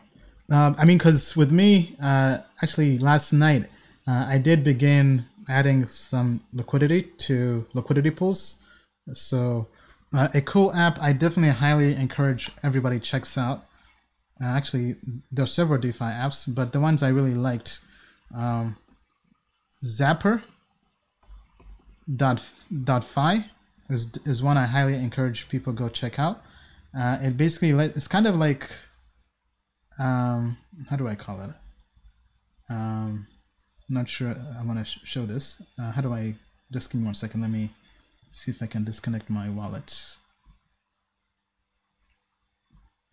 Okay, I guess I guess not. just don't want to put everything I have in DeFi on the live stream.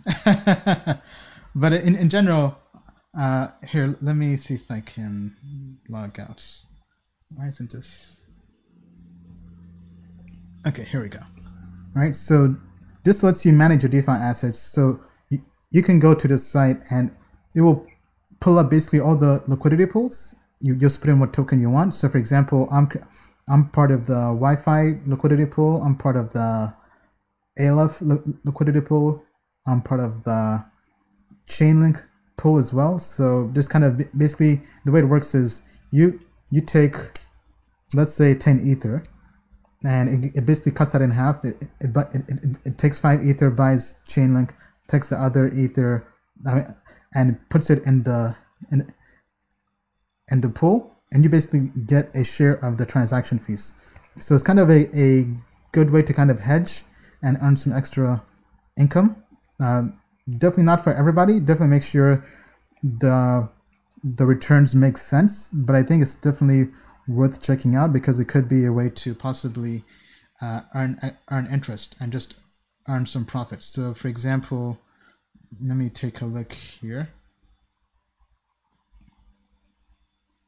Right. Okay. Yeah. So, for example, let's say you you have um, let's say you have balancer and you want to deposit that. You just come here, search for balancer, um, and it shows you all the different pools. It shows you the ROI as well, right? It also shows you the in, in permanent loss as well to make sure that it's in profit because impermanent loss is definitely something to, to keep an eye on when partaking in, uh, in, in pools, right? So balancer and the WETH pool, ROI for this month is 10%, but in terms of the net ROI, it's only been 0.23%. So basically, you've only made this difference as opposed to just holding one single asset.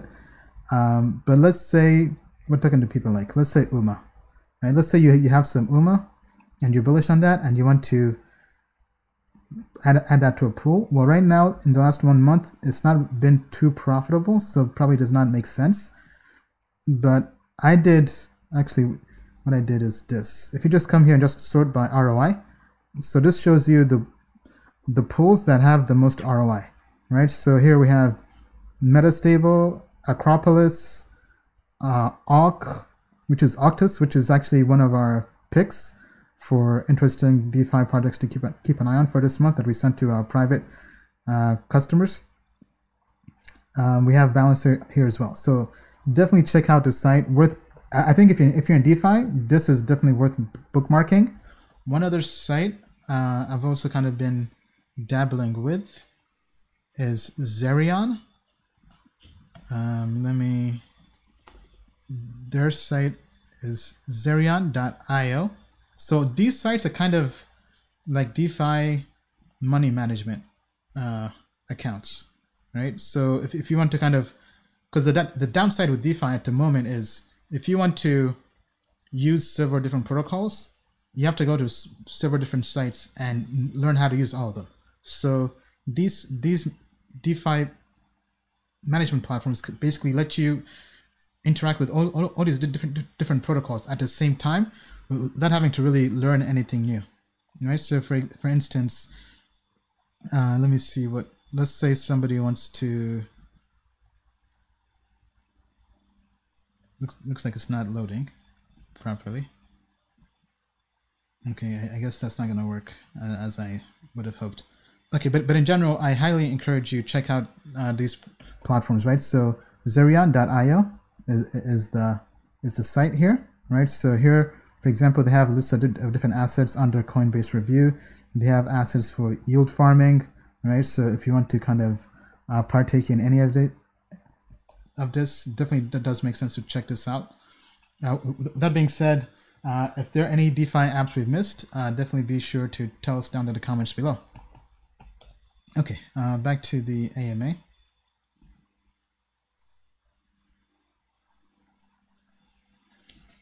Okay, all right. Uh, next question: With the bug on on the DeFi project Yam, do you see the DeFi bubble ending soon? Uh, no. I mean, kind of based on what Bill said. Bill says uh, alts still have lots of room to grow. Um, so until Bitcoin begins to rally, uh, I don't don't think we can say that DeFi bubble is ending anytime soon. Uh, Bill, your take? Okay, here's how I would talk about the DeFi bubble, right? If something's up 25% in one day, like we've got some of that today in DeFi, you know, that can be a way to take some money, right? Because things consolidate. Mm-hmm. Um, I, I think one project failing is actually a good thing because now every other project that comes out is going to probably be more thorough because I would imagine Uncle Sam is going to take a look at who failed. Okay. Yeah. So it's an incentive for everyone else to be more careful. All right. So there's the basic idea of managing your P&L and profit taking. And there's also the idea that in innovation, in innovation phases, mistakes have to get made how can we learn if we don't make mistakes as long as it doesn't blow up the financial system and again as a reminder defi at 9 billion and that looks really huge except yeah. you know the fed prints 9 billion before they're done with their morning meeting at 7 a.m it's not that much money yeah yeah and, and, i think to kind of add on to that right so your, your question in terms of is the DeFi bubble ending anytime soon? I mean, kind of as Bill mentioned, I don't really see this ending soon. I mean, yes, there'll be some corrections, but I think it's something that should be expected. I don't think it's something that should cause panic uh, until really uh, Bitcoin starts to cause alts to bleed.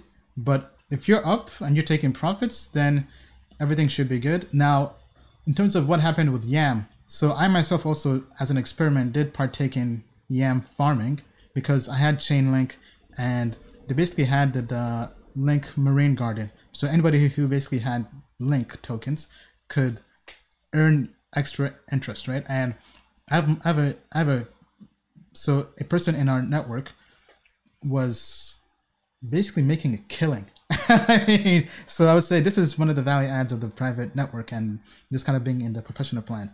So literally, this person woke up in the morning and said, "Guys, I'm making like three percent a day on on just farming my Bitcoin with Yam." And as soon as he said that, within a few hours, I was on Yam putting my Chainlink. and, and to me, honestly, that was the first time I've really kind of done yield farming, right? To me, it was just an experiment because I, I didn't believe in buying the token. I think people who buy who, who people who buy the token, that's that's where you basically get wrecked, right? Because it ended up crashing from market cap of over 60 million to I think almost close to zero, right? Due to the bug.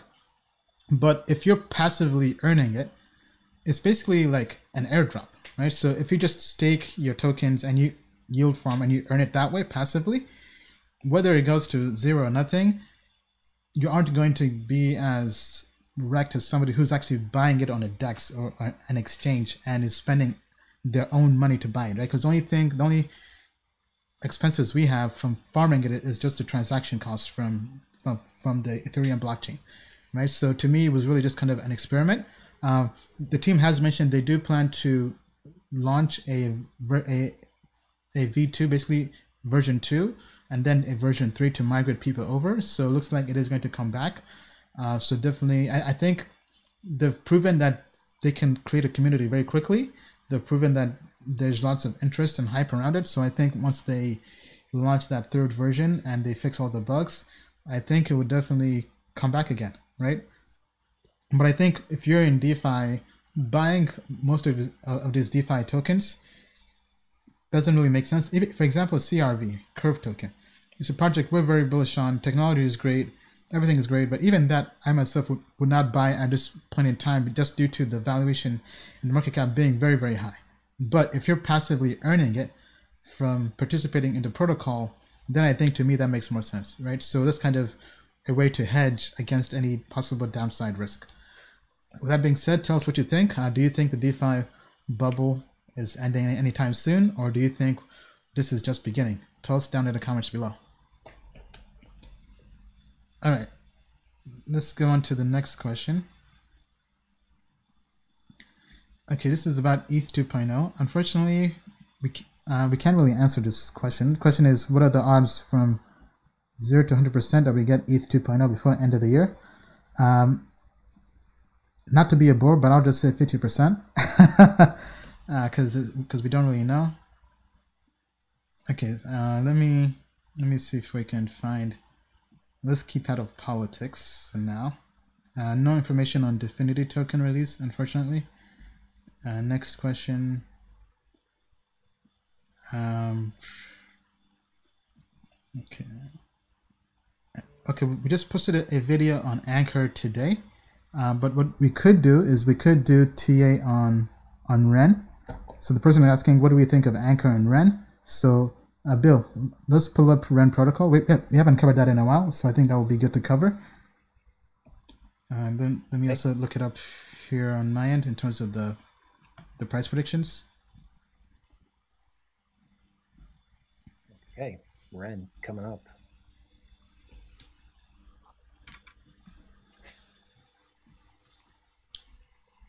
So Ren is definitely one of the interesting DeFi projects to keep an eye on. Uh, I, I, know Diego, who's watching the stream, he's he's very very bullish on Ren. He's actually, I believe, has three nodes on Ren protocol. Uh, so he's been talking about it basically to the moon and beyond. All right, go ahead, Bill. Okay, so here's Ren, uh, and here are, I guess we can call them the moon lines, right? So Ren around 42 cents. Um, I guess one of the things that these DeFi coins like to do is that they like to kind of overshoot their technical levels. So this to me looks like, you know, some sort of like we always talk about if something's up 20% in one day, take the money. Right. Now, I know I've said that, so that doesn't make for very interesting TV. So what I will say is that if Ren does take out 42 cents, it can go to 55. Okay.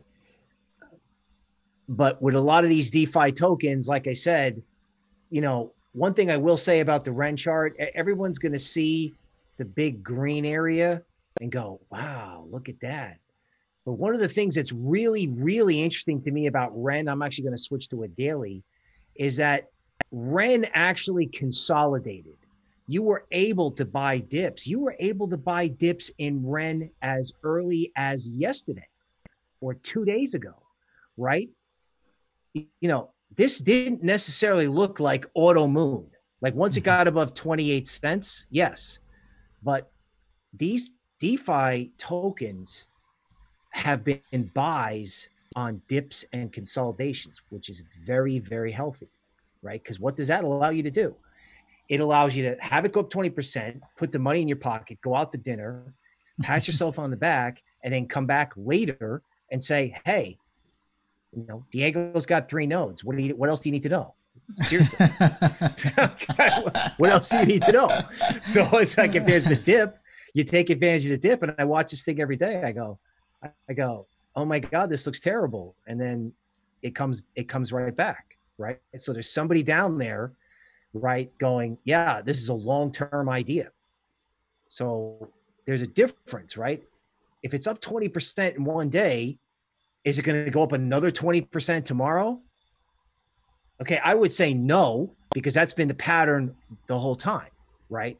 If something's up or down 25% in one day, that's an mm. opportunity to take your money.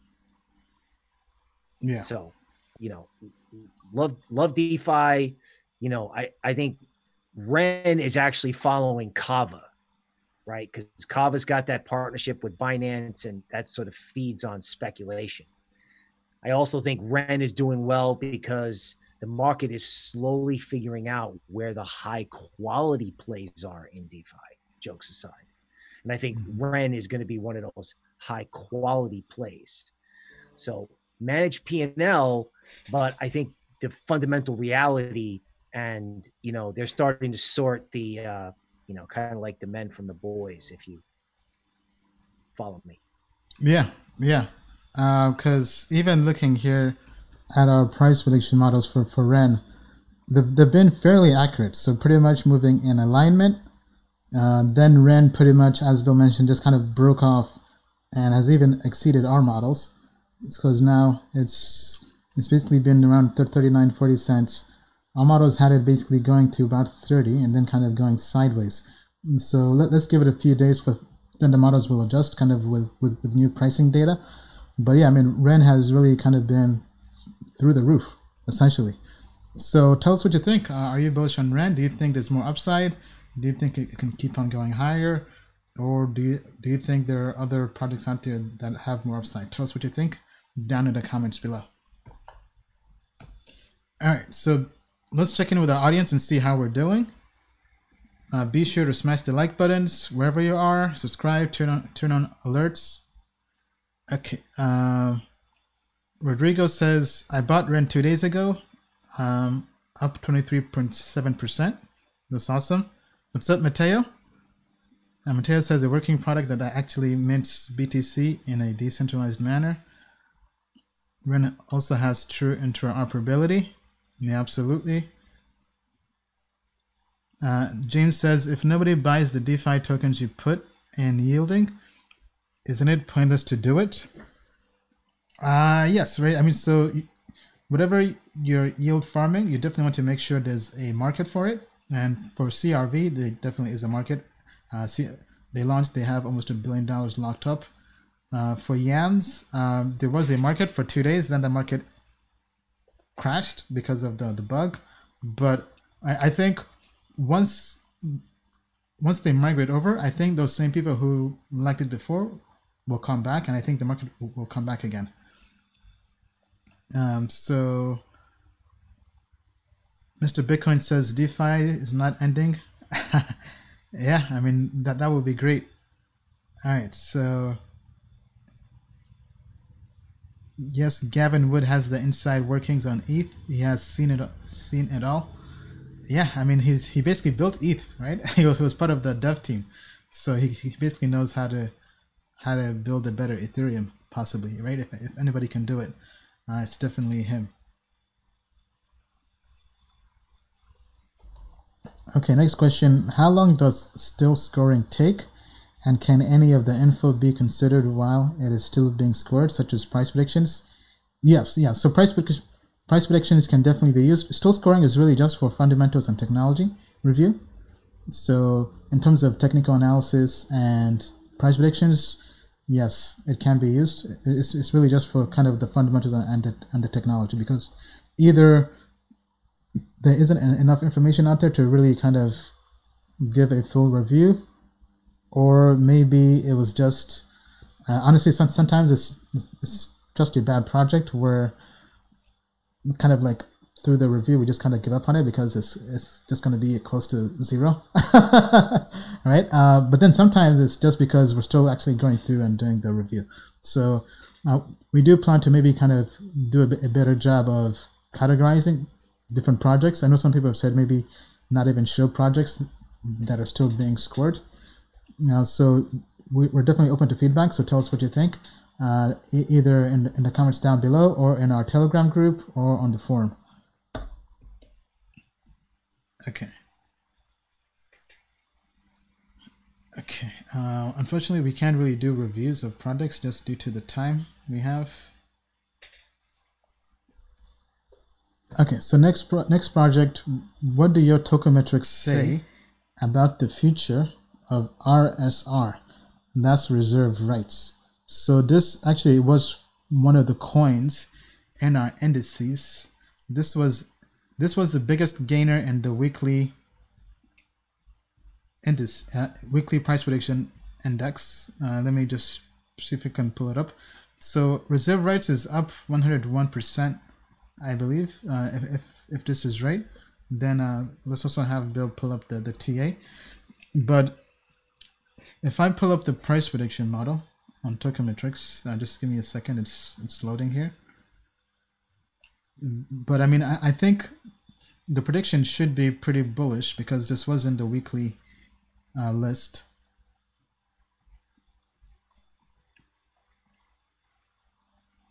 Okay. All right, so this is so the accuracy for this has been pretty pretty good in the high 80s, low 90s. It's pretty much been in alignment all the way since May. Then it's slightly broke off uh, around end of July. Uh, but yeah, I mean, so our models have it going all the way possibly till 26, 27, actually, no, sorry, to 2.7 and 2.8 cents, basically slightly beneath 3 cents. Uh, but yeah, I mean, so models are bullish on this. Uh, then, Bill? Let's see what uh, the, the TA says. Okay, coming up. Okay, so this is reserve rights versus tether. Okay. Now, with these moon lines, just so you know, uh, they they get fitted. They're like shoes. You, you yeah. try them on, mm-hmm. and I adjust the lines based on sort of where they've worked in the past and then I uh, assume that they'll work in the future. So what you can see is where this black arrow was, that was kind of the launch point for reserve right. It was like right on top of the line. Mm-hmm. And it's really interesting that, you know, reserve rights has just kind of gone to one of the bigger lines. Yeah. Right. It's Straight just, through. Once it goes, w- once it goes through one set, it goes right to the other. Right. Hence, that's why they're moon lines. Okay. Now, a lot of times when you get these kind of moves, okay, you do get some form of consolidation, right? Mm-hmm. You know, in other words, the best time to take your money is when it's up huge. Because if it's up like this and Bitcoin went to 13,000 tomorrow, you would probably be upset, right? so, yeah. giant green candles are awesome, right? We want everybody to have them. Um, just manage your P&L accordingly. Yeah, to take profits, lock in those profits, buy, and then buy yourself and some nice things. Tell us what you think about reserve rights down in the comments below. Okay, all right. Let's go on to the next question.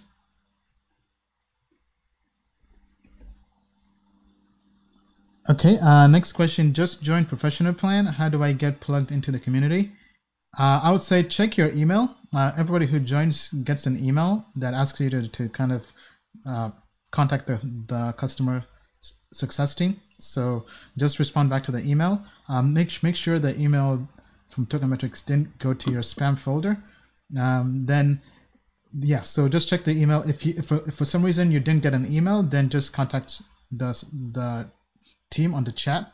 So if you just go to our site, let me take let me show you. So just down here, open up the chat, then just contact our team. Then our team will take care of it. Okay. But welcome to the to the Token Metrics professional plan. We just landed on the moon in the. Welcome to the family. Okay. All right. Um, back to the to the AMA. Okay, and then she also just uh, yeah, I think uh, she just gave me her telegram. Let me pull it up here real quick so I don't. Yeah, that's not working for me. Maybe your ID is not working. Okay, anyway. Uh, next question. Uh, we've already covered EWT. Uh, do you see another Oracle project becoming the Samsung to Chainlink's Apple? Okay, so do we see basically competition for Chainlink in terms of the Oracle space? I, I think we kind of have beaten this to death with, with the last live stream and basically all the clips we posted on the Tokenmetrics channel. Uh, I highly encourage you go subscribe at youtube.com slash tokenmetrics if you haven't already. Basically, the oracles we, we covered were the, the major one is band. band.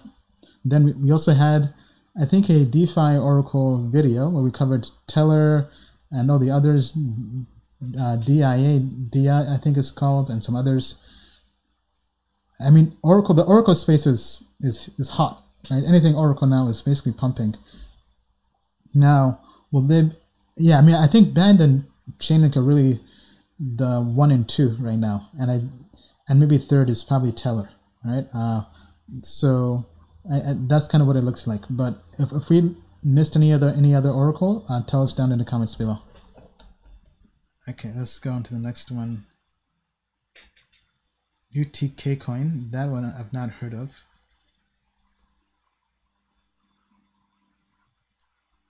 Okay, uh, let's keep politics out of it. Okay, so uh, here's one we can cover. Is it a good time to get into OXT? So that is Orchid Protocol, I believe. Um, they're on Coinbase. So actually, this this is a project we do have on Tokenmetrics, uh, and the technology is is pretty good, I believe, because uh, Paresh did look at it, and so, and and I know it's been performing fairly well uh, in the last week or so. Yeah, I see it's up over sixty two percent.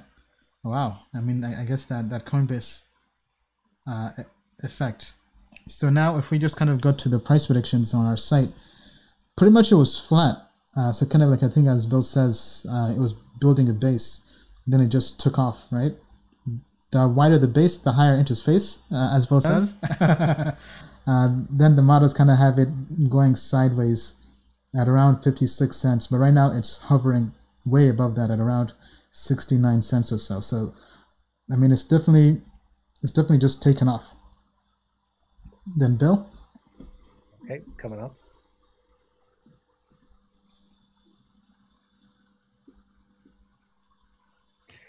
Okay. So, you know, these, these charts are funny, right? um, when you get to an even number, like a dollar, and that also happens to be where there was one of these Gann lines, okay, you're going to get a natural stopping point there. Right. So anybody who bought this for, you know, not a lot is going to be selling on a move up to a dollar, particularly, you know, if it's listed on Coinbase, a lot of times what people think is, you know, that's it for a while. In other words, once it's listed on Coinbase, there's always or, or a big exchange. There's usually like a digestion or a consolidation period, right? So that consolidation period could be, you know, like with Compound, that was kind of awful what happened. Okay. In other projects, the consolidation periods can last two to three days. I just don't know. In that particular case, you know, at an even number like a dollar, I mean, if you bought it for 20 cents and it went to a dollar, what should you do? I'll take profits. I mean, Right. yeah. Okay, so so I see uh, CB9 Crabbit says I'm gonna watch the OXT Rocket Moon. I missed that ride. okay, all right. Thank you, thank you for chiming in. But yeah, I mean, anybody who's making money on that, congratulations. Uh, definitely do take some profits. Okay, all right. So back to the AMA. All right, so this this is definitely a coin I like. so how high is helium going? So that's helium network. Uh, so I have been mining that. I mean, first of all, for anybody who's holding helium, congratulations. Uh, helium has is now over a dollar, I, I, and depending on when you got in, helium you you you you're probably up five five to ten x. So that's like our first like ten x in, in this quarter or, or even this year for some. I mean, so I mean, I I've not sold any yet. I'm basically in it long term. Uh, on the downside, though, they did launch their data credits, so now I'm not really earning anything with my mining. So from going through their Discord channel, my understanding is because now they have kind of this two token model with the data credits and the HNT token. If you don't have any other hotspots nearby, you basically will earn even less. So uh, I went from earning like about um, actually I can pull it up here. Don't I don't want to misspeak because um, quite frankly I was pretty pissed off.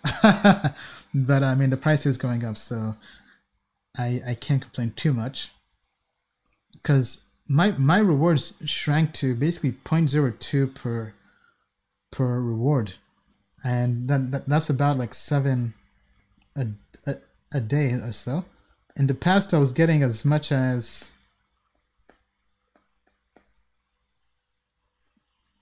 as 0.5 so from 0.5 seven times a day or so i think to 0.02 i mean i'm definitely not a happy camper but i mean the price is going up. But at this point i think really the only thing for me to do is just accumulate on exchanges unfortunately.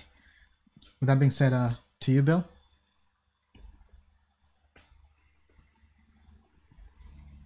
Okay. So now this is something that I haven't seen on Moonline charts yet. This four mm-hmm. hour helium.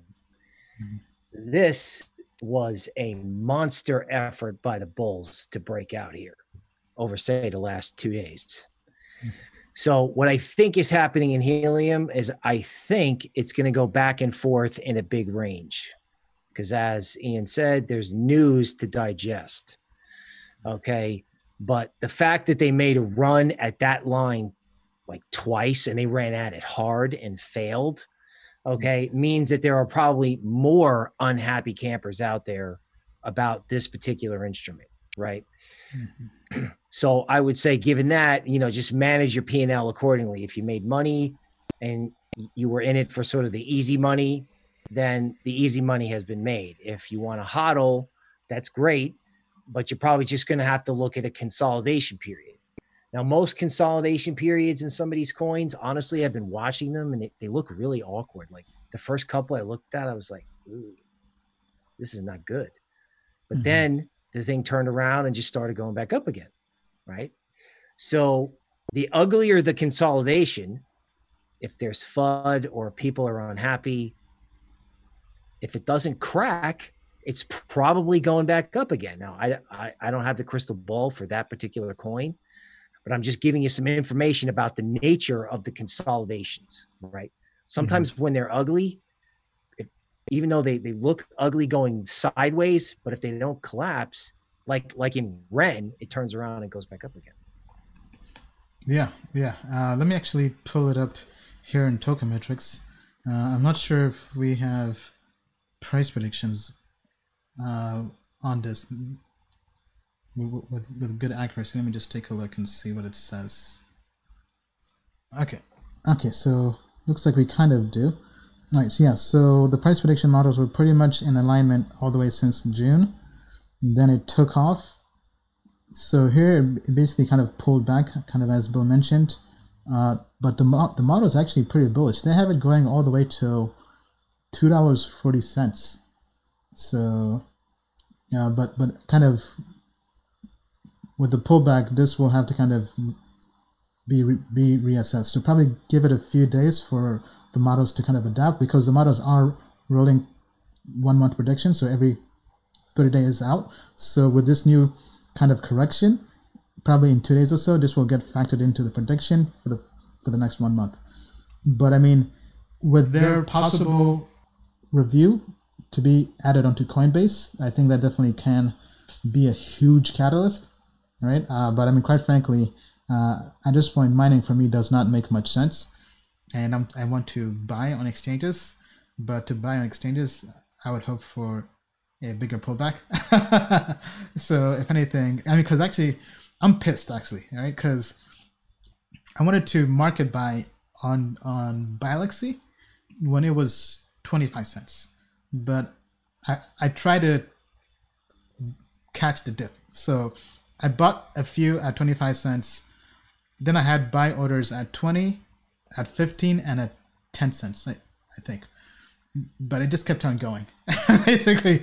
And I basically only got like about a third of how much I wanted to buy on exchanges. So I'm still, I'm, I'm pretty pissed. And I thought it would come back down to earth, but it just kept on going. But either way, I mean, I think probably does not make too much sense because if I'm in it long term, so if I try to kind of time the, the entry points, but either way, I mean, it's, it's, it's, it's been a great investment this year. So congrats to anybody who's made money on it. Okay, all right, let's check in with our audience and see how we're doing.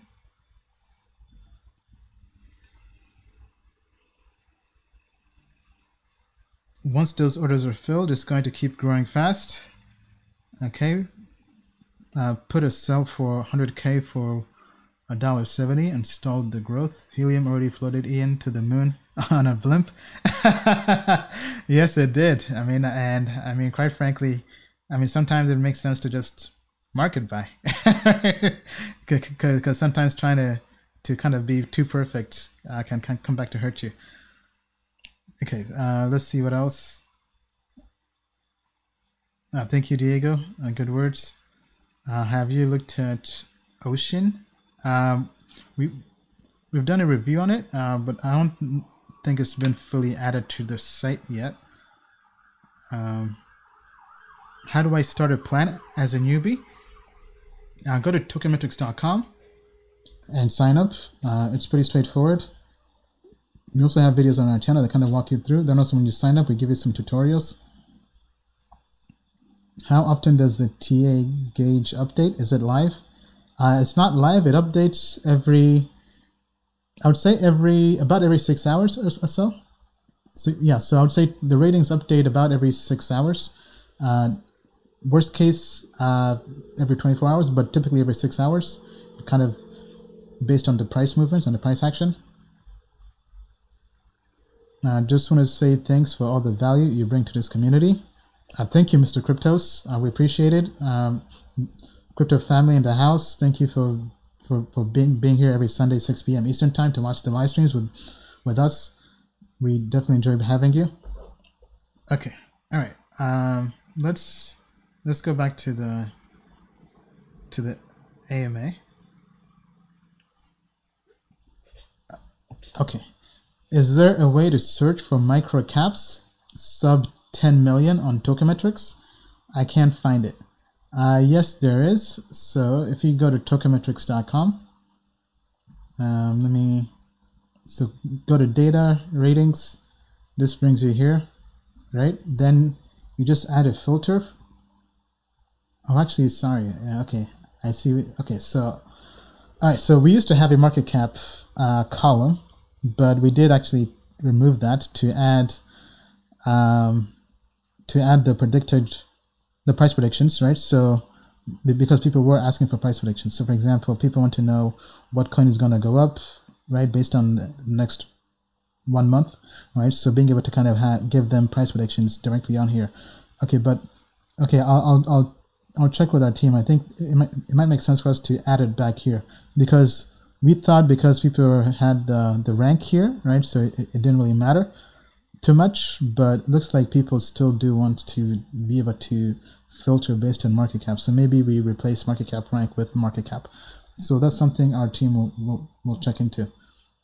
Uh, definitely tell us in the comments if you, uh, if you think it makes sense to add market cap column back. Okay, all right. Uh, going on. We can we kind of covered Ren. All right, I think I, I do think Ren can be big. Okay, so here's a question for Bill. Uh, hi, Bill and Ian. Can you take a look at Toto 2? Total crypto market cap minus BTC. Okay, I think we kind of covered this, right? The altcoin market cap. That's the same one you looked at, Bill? Uh, it's yes, it's it's similar. Um, you know, this this question is uh, you know this person is definitely after my own heart with this. um, you know, so if you look at market cap excluding Bitcoin, right? Um, it- it's broken out of this gigantic downward sloping wedge, right? What's a downward sloping wedge? It's a basketball underwater. Okay. And this is sort of adds fuel to the to the fire of that altcoin market cap chart, right? Because once you let go of that basketball, okay, that basketball flies not only to the top of the water but out of the water. And I don't see why this can't go back to where it was in June of 2018. Because again, that that's that that's what the big picture looks like, just like the altcoin chart, right? So you're like, oh my God, this is up so much. No, not really. not really. That's that's where you know your ethers, you know, possibly your Litecoins, your Cardanos, your Stellars, your Cosmos. You know, God only knows what Chainlink could do. You know, if that chart is proves prophetic, right? It just adds to the idea that coins other than Bitcoin can go up so much. It's actually hard to talk about it, right? It's hard to mm-hmm. come out and say, you know, altcoins, as in coins other than Bitcoin, not necessarily the super small ones, right? Just remember that. You know, the bigger altcoins haven't even started rallying yet. That's the message of that chart. The big altcoins have not started to rally yet. Yeah, I mean, so early in the show we, we we covered Binance, right? Binance hasn't really begun to rally yet, and we think, I mean, if that happens, Binance could be up there. EOS, uh, Neo as well. Definitely watch out for that. All right, thank you, Bill. Okay, all right. Uh, okay, uh, Ian, any Ian, any polka dot gems? Uh, I mean, so Polkadot itself is one gem, uh, but I, but I think most people kind of knew that. Uh, one, we've not really done a deep dive into any particular Polkadot gems yeah The only one we've been kind of doing research on is Polkaswap, uh, from just talking to their team, because we've known their team for, for some time. Just kind of they've been in our network. Um, uh, uh,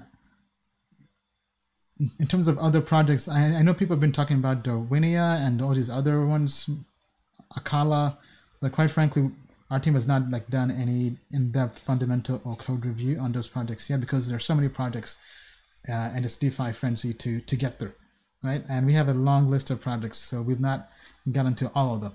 But I mean, uh, the ones on on our radar are probably those, right? I would say Darwinia, Polkaswap, uh, but this is not any kind of financial investment advice or anything like that.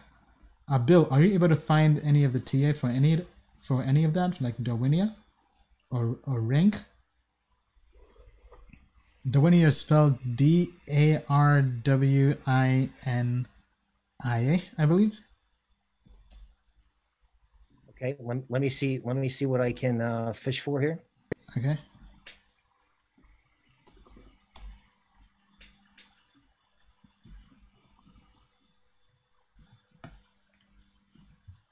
Okay, Darwinia network. Yes. Yeah. Okay. All right. Let's uh let's not keep the audience's suspense and I'll just take the shot that I can get something on the chart. Okay, so this is your 4-hour Darwinia. It's actually versus Bitcoin. Let me see if I can get it versus the dollar. Okay, there we go. All right, same picture. Okay, so this to me looks like another one of these perhaps ugly consolidation phases, right? Mhm. Okay.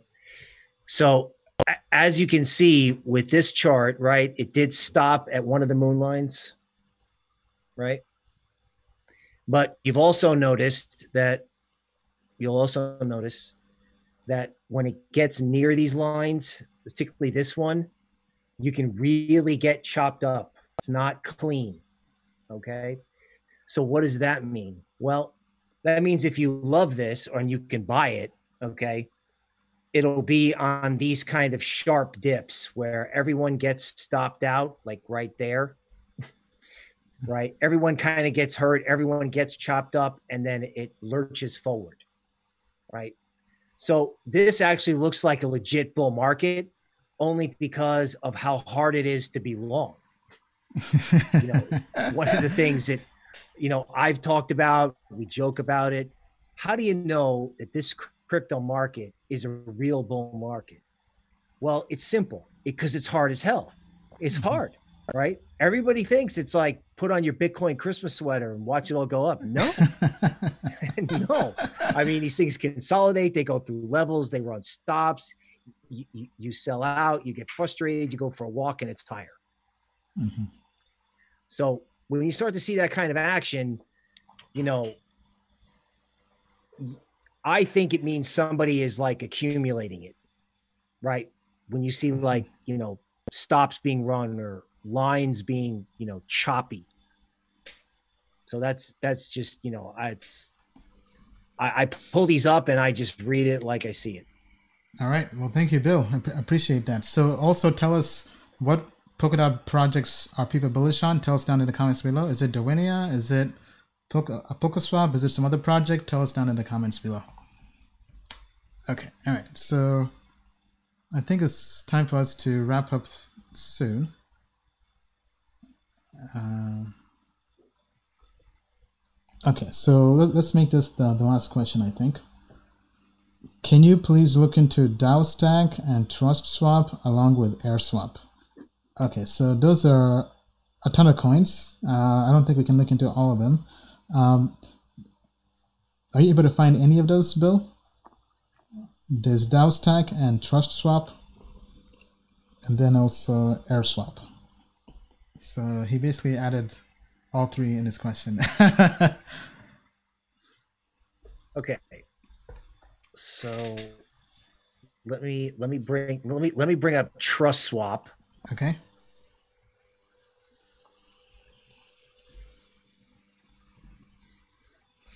Okay. So when something moons right out of the gate like this, uh, it it's one of the hardest reads.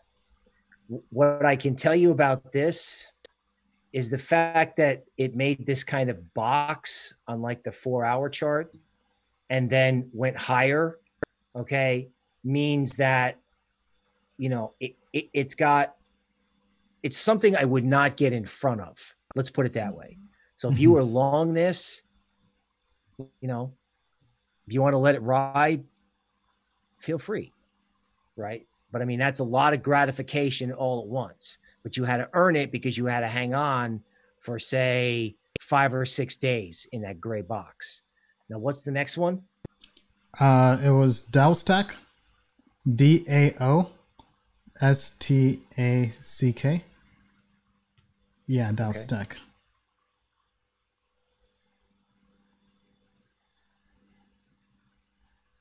Wow. Okay. All right. So I guess this is a good example of the bigger the base, the higher into space. And it looks like what this is doing is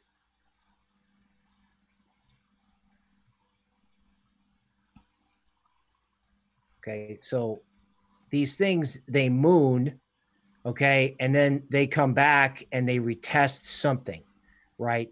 You're always looking, or I'm always looking with these things for reference points, okay, to try to find out where to buy the dip, right? So, assuming we should buy the dip, where should we do so?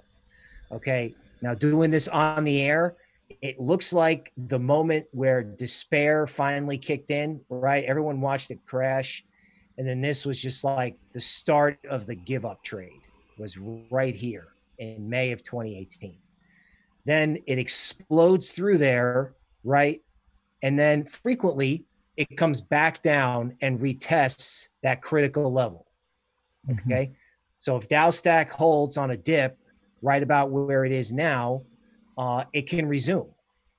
Okay. Because again, uh, it kind of came crashing down. So it could turn around and go the other way just as easily. Uh, but you're going to have to earn it, right? You're going to have to watch it go up and then have to be brave enough to buy the dip. So, you know, if you like this, you're definitely going to have to be brave enough to deal with the dip that's happening right now. And what was the other one? Uh, it was AirSwap, A I R S W A. Yes. Uh,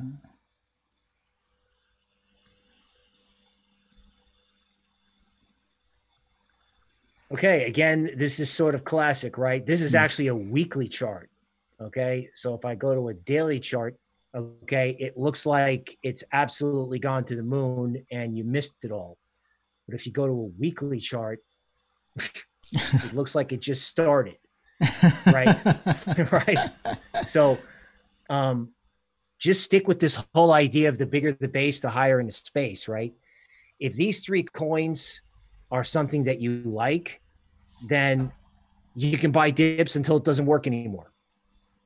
Right. Now that sounds easy because you, your story about helium, right? Like, what level do I buy the dip at? Right. Like, sometimes if you're not able to buy the dip, because I can tell you right now, I've been watching Chainlink and everybody wants to buy Chainlink on a dip. This is for like going on for like a couple months and it doesn't mm-hmm. dip and helium doesn't dip. So sometimes when it doesn't dip and everyone wants to buy the dip, guess what? It turns around and moons. And then if it's easy to buy the dip, well, yes, you bought the dip, but congratulations, you just caught the falling knife and it keeps mm-hmm. dipping. The cheap get cheaper. Yeah. So for this person who asked the question, if you like these coins, you can buy the dip. If the only reason you like these coins, and this can be a lesson for alts in general, if the only reason you like it is because you missed it, go for a walk, take a deep breath. There'll be another trade. Okay. You got to mm. have a reason why you like it other than you missed it and your buddy caught it. yeah. Well said, well said, and a, a, great way to end the show. So tell us what you think uh, about all those three projects down in the comments below. Well, all right, Bill, uh, it's it's been great. Uh, any last words for our crypto family? Friends, when it comes to crypto, here's the question you need to ask yourself What kind of conversation am I having about crypto? So we have great data, and Ian's told you that. We've got AI and machine learning. What I think we have is we have because we have those things and we have great people, we've got one of the best conversations about crypto. Before you trade, you have to think and talk. Okay. And that's what we can help you with. So, crypto family, thanks for tuning in. Thanks for trusting us to do the analysis that can help you get where you want to be. All right. Thank you, Bill. Good night. See you next week. All right. Okay. Oh man. Oh man. Let me. Sorry. Just give me a second here to wrap that up. Yeah. So I mean, as Bill said, um, thank you, crypto family. I mean, alt season. Alt season. We just landed on the moon in the land. This is what dreams are made of. We've been waiting for forever since basically January 2018 when the bull run was kind of ending, right? And basically till I would say maybe middle around Q2 2018. So it's been two years since we had moments of glory like this. So first of all, congrats to everybody who's making money, whether you're making money on Chainlink, whether you're making money on Helium, whether you're making money on Matic Network. Matic Network is finally rallying. Uh, I mean, I, disclosure, um, I'm very bullish on Matic. I, I, do own Matic. I do own Helium. I do own Chainlink. Um, I still have some Chromia as well. That's also been pumping as well. But hey, whatever cryptocurrency you've made money on, please share that with us, crypto family, down in the comments below. I know some people are making money on reserve rights. Some people are making money on Darwinia, DAO Stack, other cryptocurrencies. Share the love, spread the love, okay? Because we're all going to the moon together in one rocket ship, right? It's called Tokenmetrics, Crypto Family, right? That's why our logo is a rocket because we're going to the moon together. All right, so here, let, let me check in with our audience and see how we're doing as we wrap up the show. Mooning in November. What's up, Tyrone? How are you? Uh, no, don't go. I'm loving the stream.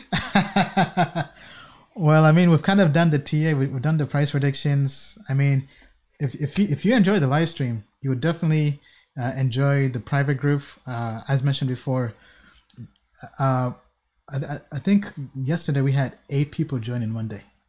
Right? I, I mean, it's basically, if anything, I should probably have Bill do like TA on how many people joined the private group. Because right now it's basically breaking out. right? And that's how we know we're in a bull run. But that's how we, we also know that we're offering people value. And as more people join, it makes us even want to offer even more value right? Because it's kind of like basically network effects, right? So as more people go and join the group, it's now getting even more interactive. People are kind of sharing their insights, what they're trading. Uh, one, one, one person today asked people to kind of share their portfolios, and we all just shared our portfolios, what we're doing. I shared mine, right? So it's it's really becoming one big family, and people also are basically sharing their success, where trades are making them money, when investments are making them money, and being around like-minded people. Because not just us the team right? Bill and i and paresh but also like-minded users of token metrics investors globally people in in the us mexico uh, australia switzerland global crypto family uniting and just being able to share insights it's it's a beautiful thing it's a beautiful thing so thank you to everyone who has joined definitely appreciate that and thank you to everyone who has been just using token metrics. I mean, because I know, I mean, uh, this year was not easy. There have been some growing pains with our team just working, taking input from the, you, the audience, working to fix bugs and everything, right? Uh, but at the end of the day, we're doing what we do for you, and because we measure everything. Uh, I don't think I can share uh, the full thing, uh, but what I can share, because uh, I don't want to uh, break too much of people's privacy, right? But what I can share to kind of just show you that, hey, we appreciate all the feedback you've given us to help us improve and become a better platform. Because if we go to to our NPS score, right? In the last 30 days, it's shot up. It's now 67. Right? For those who don't know, NPS it basically means Net Promoter Score.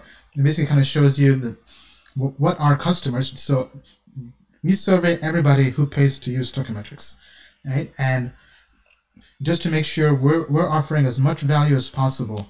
And we track this, right? And sometimes, right, in, in some months, right?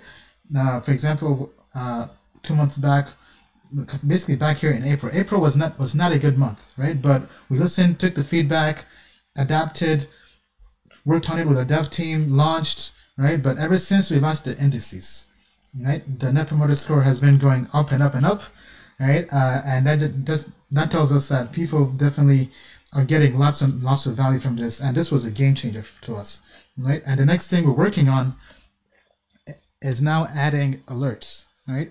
Um, so this time frame for this, there's no time frame yet, but probably sometime next month, and if you think Tokenmetrics is great now, imagine being able to have email and text alerts, SMS alerts, whenever uh, scores change, ratings change, whenever indices change.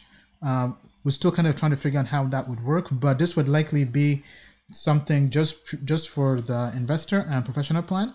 Uh, right now, we're probably thinking uh, email alerts will be for investor plan, uh, and then professional would likely get text SMS alerts because sending text messages definitely is not cheap, especially international, sending global SMS, right? So, from a business standpoint, we think that will also give people in that plan even more value, right? So, imagine getting a text message from Token Metrics saying, hey, uh, Cardano uh, price prediction just changed and it's, it's now going up 5 10%, right? Or, hey, TA rating on this has gone down, right? So, being able to give you real time insights live in the moment in real time that's a game changer right uh, probably might cause some people to to fomo and just kind of run and not really be so in the moment with everyday things but hey we're in a crypto bull run bull run right so you basically have to be glued to your phone right glued, glued, glued to telegram glued to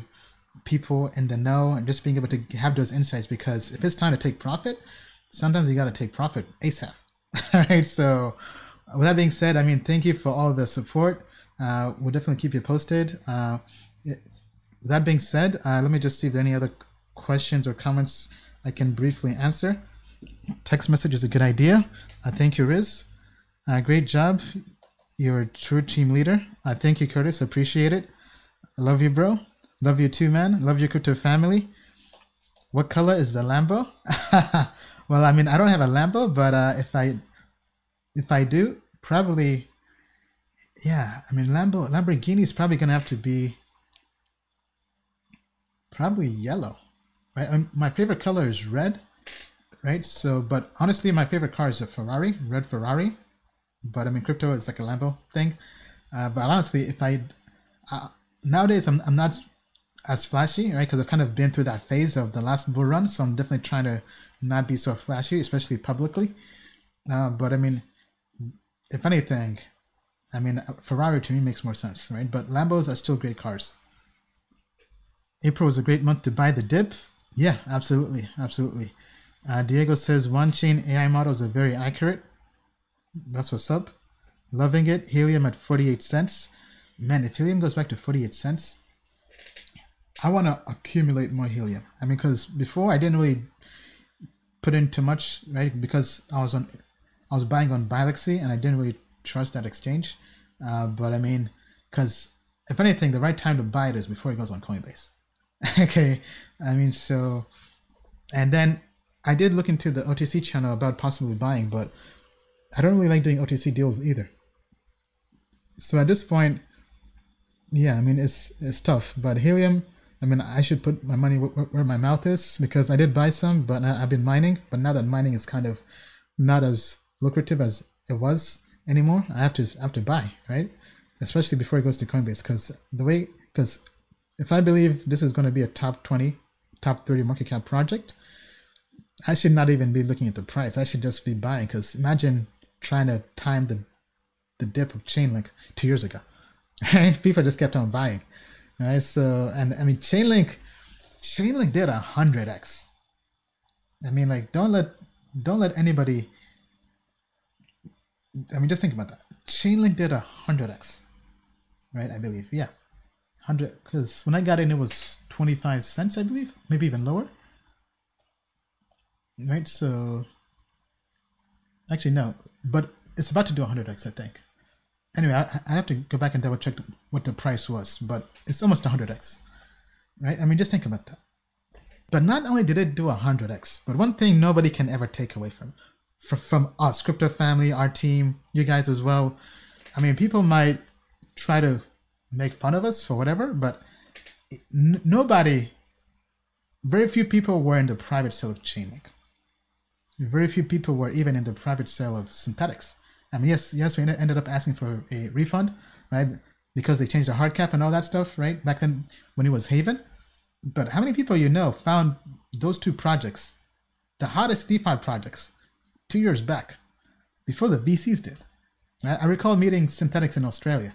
right, actually, the marketing person came to talk to us to, to basically pitch me the project at the tennis open. I mean, it's pretty crazy now, kind of thinking back, right? Uh, I mean, I, definitely messed up by by asking for a refund, right? But I mean, I probably would have sold early too, right? Because there was a, a long bear market, right? But either way, I mean, obviously, we put our L's behind us and we learn from that, right? And Synthetix has performed well, and you know, you definitely got to give it the props, right? So Synthetix, Chainlink, looking back, but now if we're trying to find the next Chainlink, I mean, I, I if I really think Helium is that, I, I think if I had to pick two projects, Helium and Blockstack, and Matic. Actually, I'm sorry. Yeah, Helium, Blockstack, Matic. But Matic, Matic to me is an easy buy because, I mean, I I, I, I know the team. I'm, I'm close to them. Uh, I've done my research, and it's ERC20. Uh, like ERC20 tokens, those I buy very quickly. But if it's not an ERC20 tokens, then I have to go on some other exchange and buy and all that stuff. But if you told me, okay, in two to three years, what projects will be the next Synthetix, the next Chainlink? that we were early on before anybody else was, I would say Matic Network and Helium, right? Blockstack too, but Blockstack we weren't too early on compared to everyone. But Helium, because Helium, I mean, I met the team in San Francisco in 2018. Went to their offices. Matic Network 2018 at the Crypto World Tour pitch competition in Hyderabad, India. All right, so like talking about like hidden gem, hidden gem.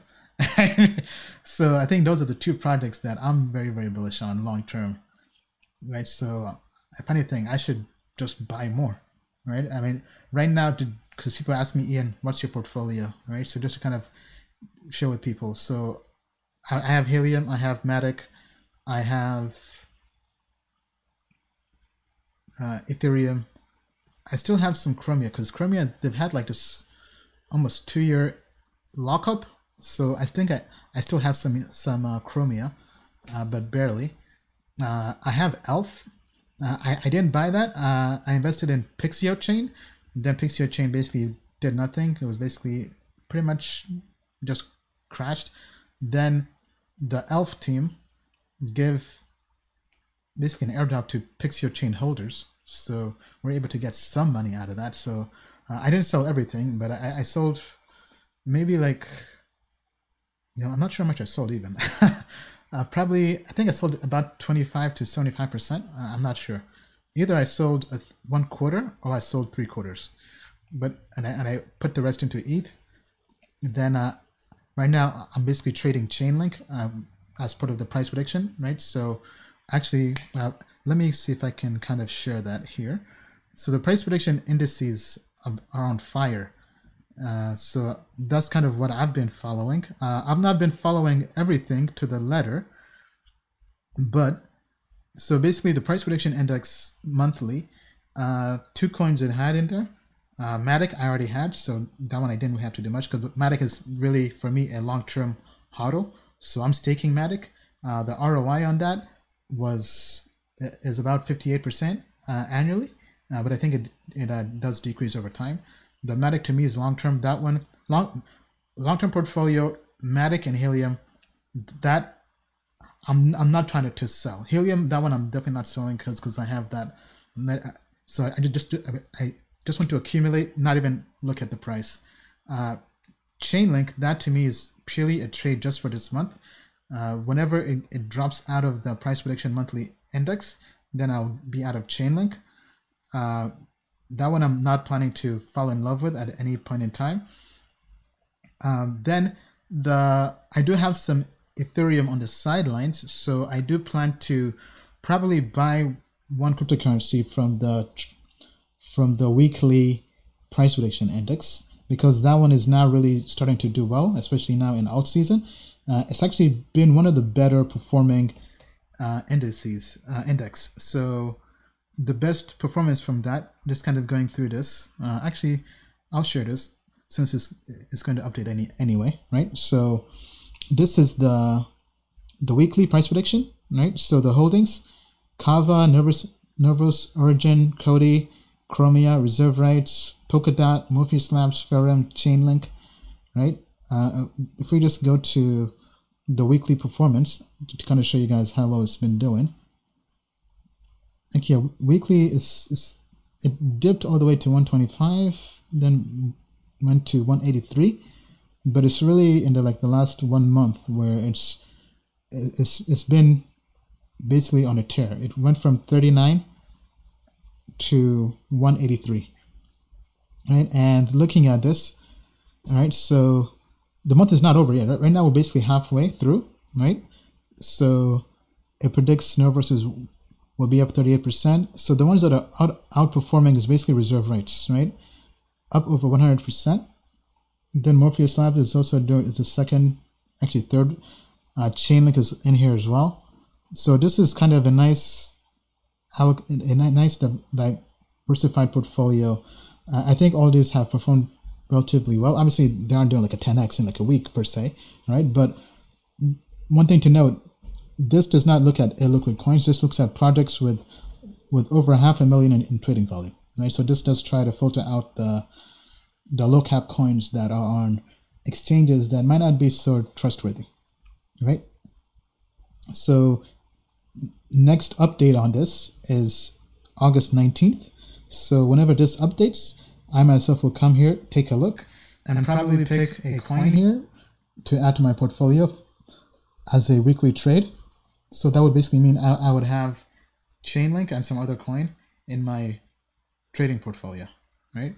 Um, but yeah, I mean, I'm, as mentioned before, I mean, we're definitely very pleased with this, and it's it's doing very very well. I, I mean, if we go to the Value Investor uh, Index, uh, the best performing one has been the the annual portfolio, but the issue with this is this only updates once a year, right? So, um, so I, in this index, I have Matic and Ethereum. Um, but for anybody out there who wants to just kind of buy buy ten coins long term, not trade, hodl, come back a year later, look at the results, right? This would be a good portfolio for that. Um, in terms of performance, quarterly now is, is actually surpassed the quarterly technology. Okay, so quarterly the quarterly technology, uh, I think because it ha- it has some exposure to to to some DeFi coins, but I don't think it has made an update on this. Let me take a look. Yeah, so this has Compound. Compound is now kind of bouncing back. Compound, Cosmos, Dash, Aeternity, Cardano. Cardano has done well. If we go here to the performance, so Cosmos, Cosmos is is up over 124%. Ethereum Neo. So the ROI for this is based on the time horizon. So this is quarterly. So this is basically in the last uh, since July fourth. Right. So this is kind of think of this as your blue chip safe picks. Right. So they aren't like sub hundred million dollar market cap coins. Right. That are super hella risky. These are kind of nice solid investments that aren't necessarily based purely on market cap. Right. So the low cap coins in here would be Matic and Aeternity. Uh, Compound is is still pretty new, but but uh, this also next update will, will have some new coins because we did we did add some new coins that are I would say in the top ten in terms of technology. So uh, on the next update in October, this will be totally different. All right, uh, let me let me check in with the audience before we wrap up how to join the private group. Uh, so you have to be on the professional plan. So if you just go to uh, Tokenmetrics, uh, just click pricing, right? Professional plan. Basically, private investor network and uh, webinars, that's the private group, right? So if you join that, then it, it will send you an email, and that email will be then I mean, yeah, then just respond back to that email with the customer support, and they'll basically kind of uh, bring you in, right? So, but with that being said, I mean, alt season breakout. Congratulations to everybody who's making money, right? Now is the time to be in crypto. Shut up and take my money. Shut up and take my money. And as we like to say, we just landed on the moon in the Lambo. Moon Lambo. Taking pictures with the zoom and the aim. thank you, crypto family. It's been a pleasure. Uh, awesome having you. I mean, thank you. I mean, it's been incredible.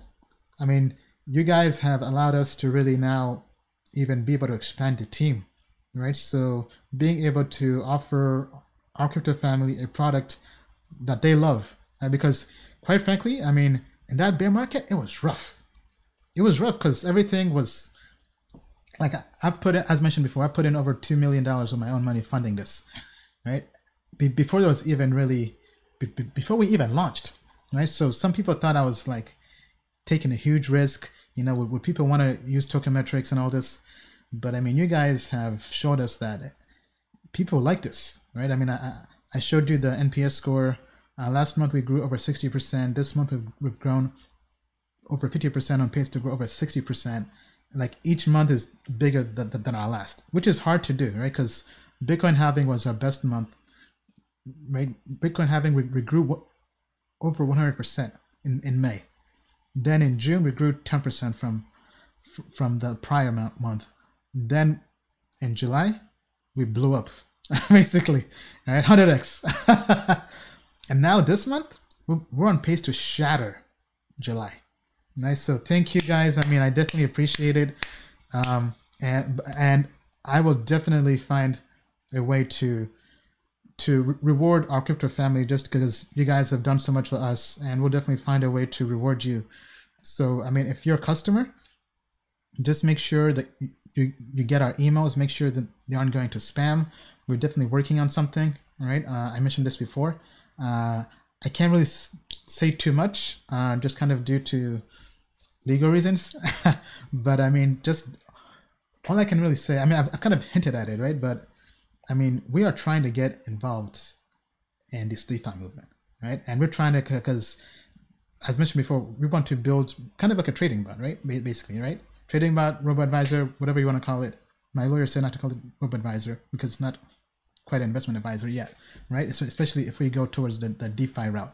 But imagine if we can take our indices and have people be able to trade them through smart contracts, right? So that's what we, our team has been researching on, right? I, mean, I think that part I can't disclose. Uh, so we've been looking at Ethereum. Paresh has been also looking at uh, Polkadot as well, right? Because uh, even though it's early, uh, if, if their technology is good and if they can do what we want to do, that could be something very interesting to build on, right? But probably leaning more towards Ethereum. But I mean, we, we want to really eat our own dog food, right? Because we're kind of building this up in levels, right? We, we built the analytics platform, we built the indices. Now we, we need to automate the investing and trading in the indices, right? Where it's just push button, kind of like Uber, boom, price prediction index. Here, just put in, for example, just put in uh, all your ether, all your DAI into your wallet, smart contract, whatever. It goes through, buys all the different price prediction index, uh, index holdings and it does the the trading and buying for you, the rebalancing. If we can automate that, that is the holy grail. That is the holy, holy grail of crypto, right? And that's that's something we know people want because you guys have told us, right? That, that's what you want, right? And we're trying to see how we can make that a possibility. Uh, so definitely, thank you to all the customers. I know I've been rambling a lot, but with that being said, uh, thank you. We'll be back Sundays, 6 p.m. Eastern time. This was filmed on, as it says in the bottom right, August 16th, because people have been complaining about us not having the dates on because we take the clips and post them. But yeah, with that being said, thank you, Crypto family. I'm out. And as we like to say, we just landed on the moon. the moon is not the limit. To the moon and beyond. I'll see you next week, Crypto family. Please subscribe, smash the like buttons. Smash the like buttons because we're all going to the moon together. Crypto family.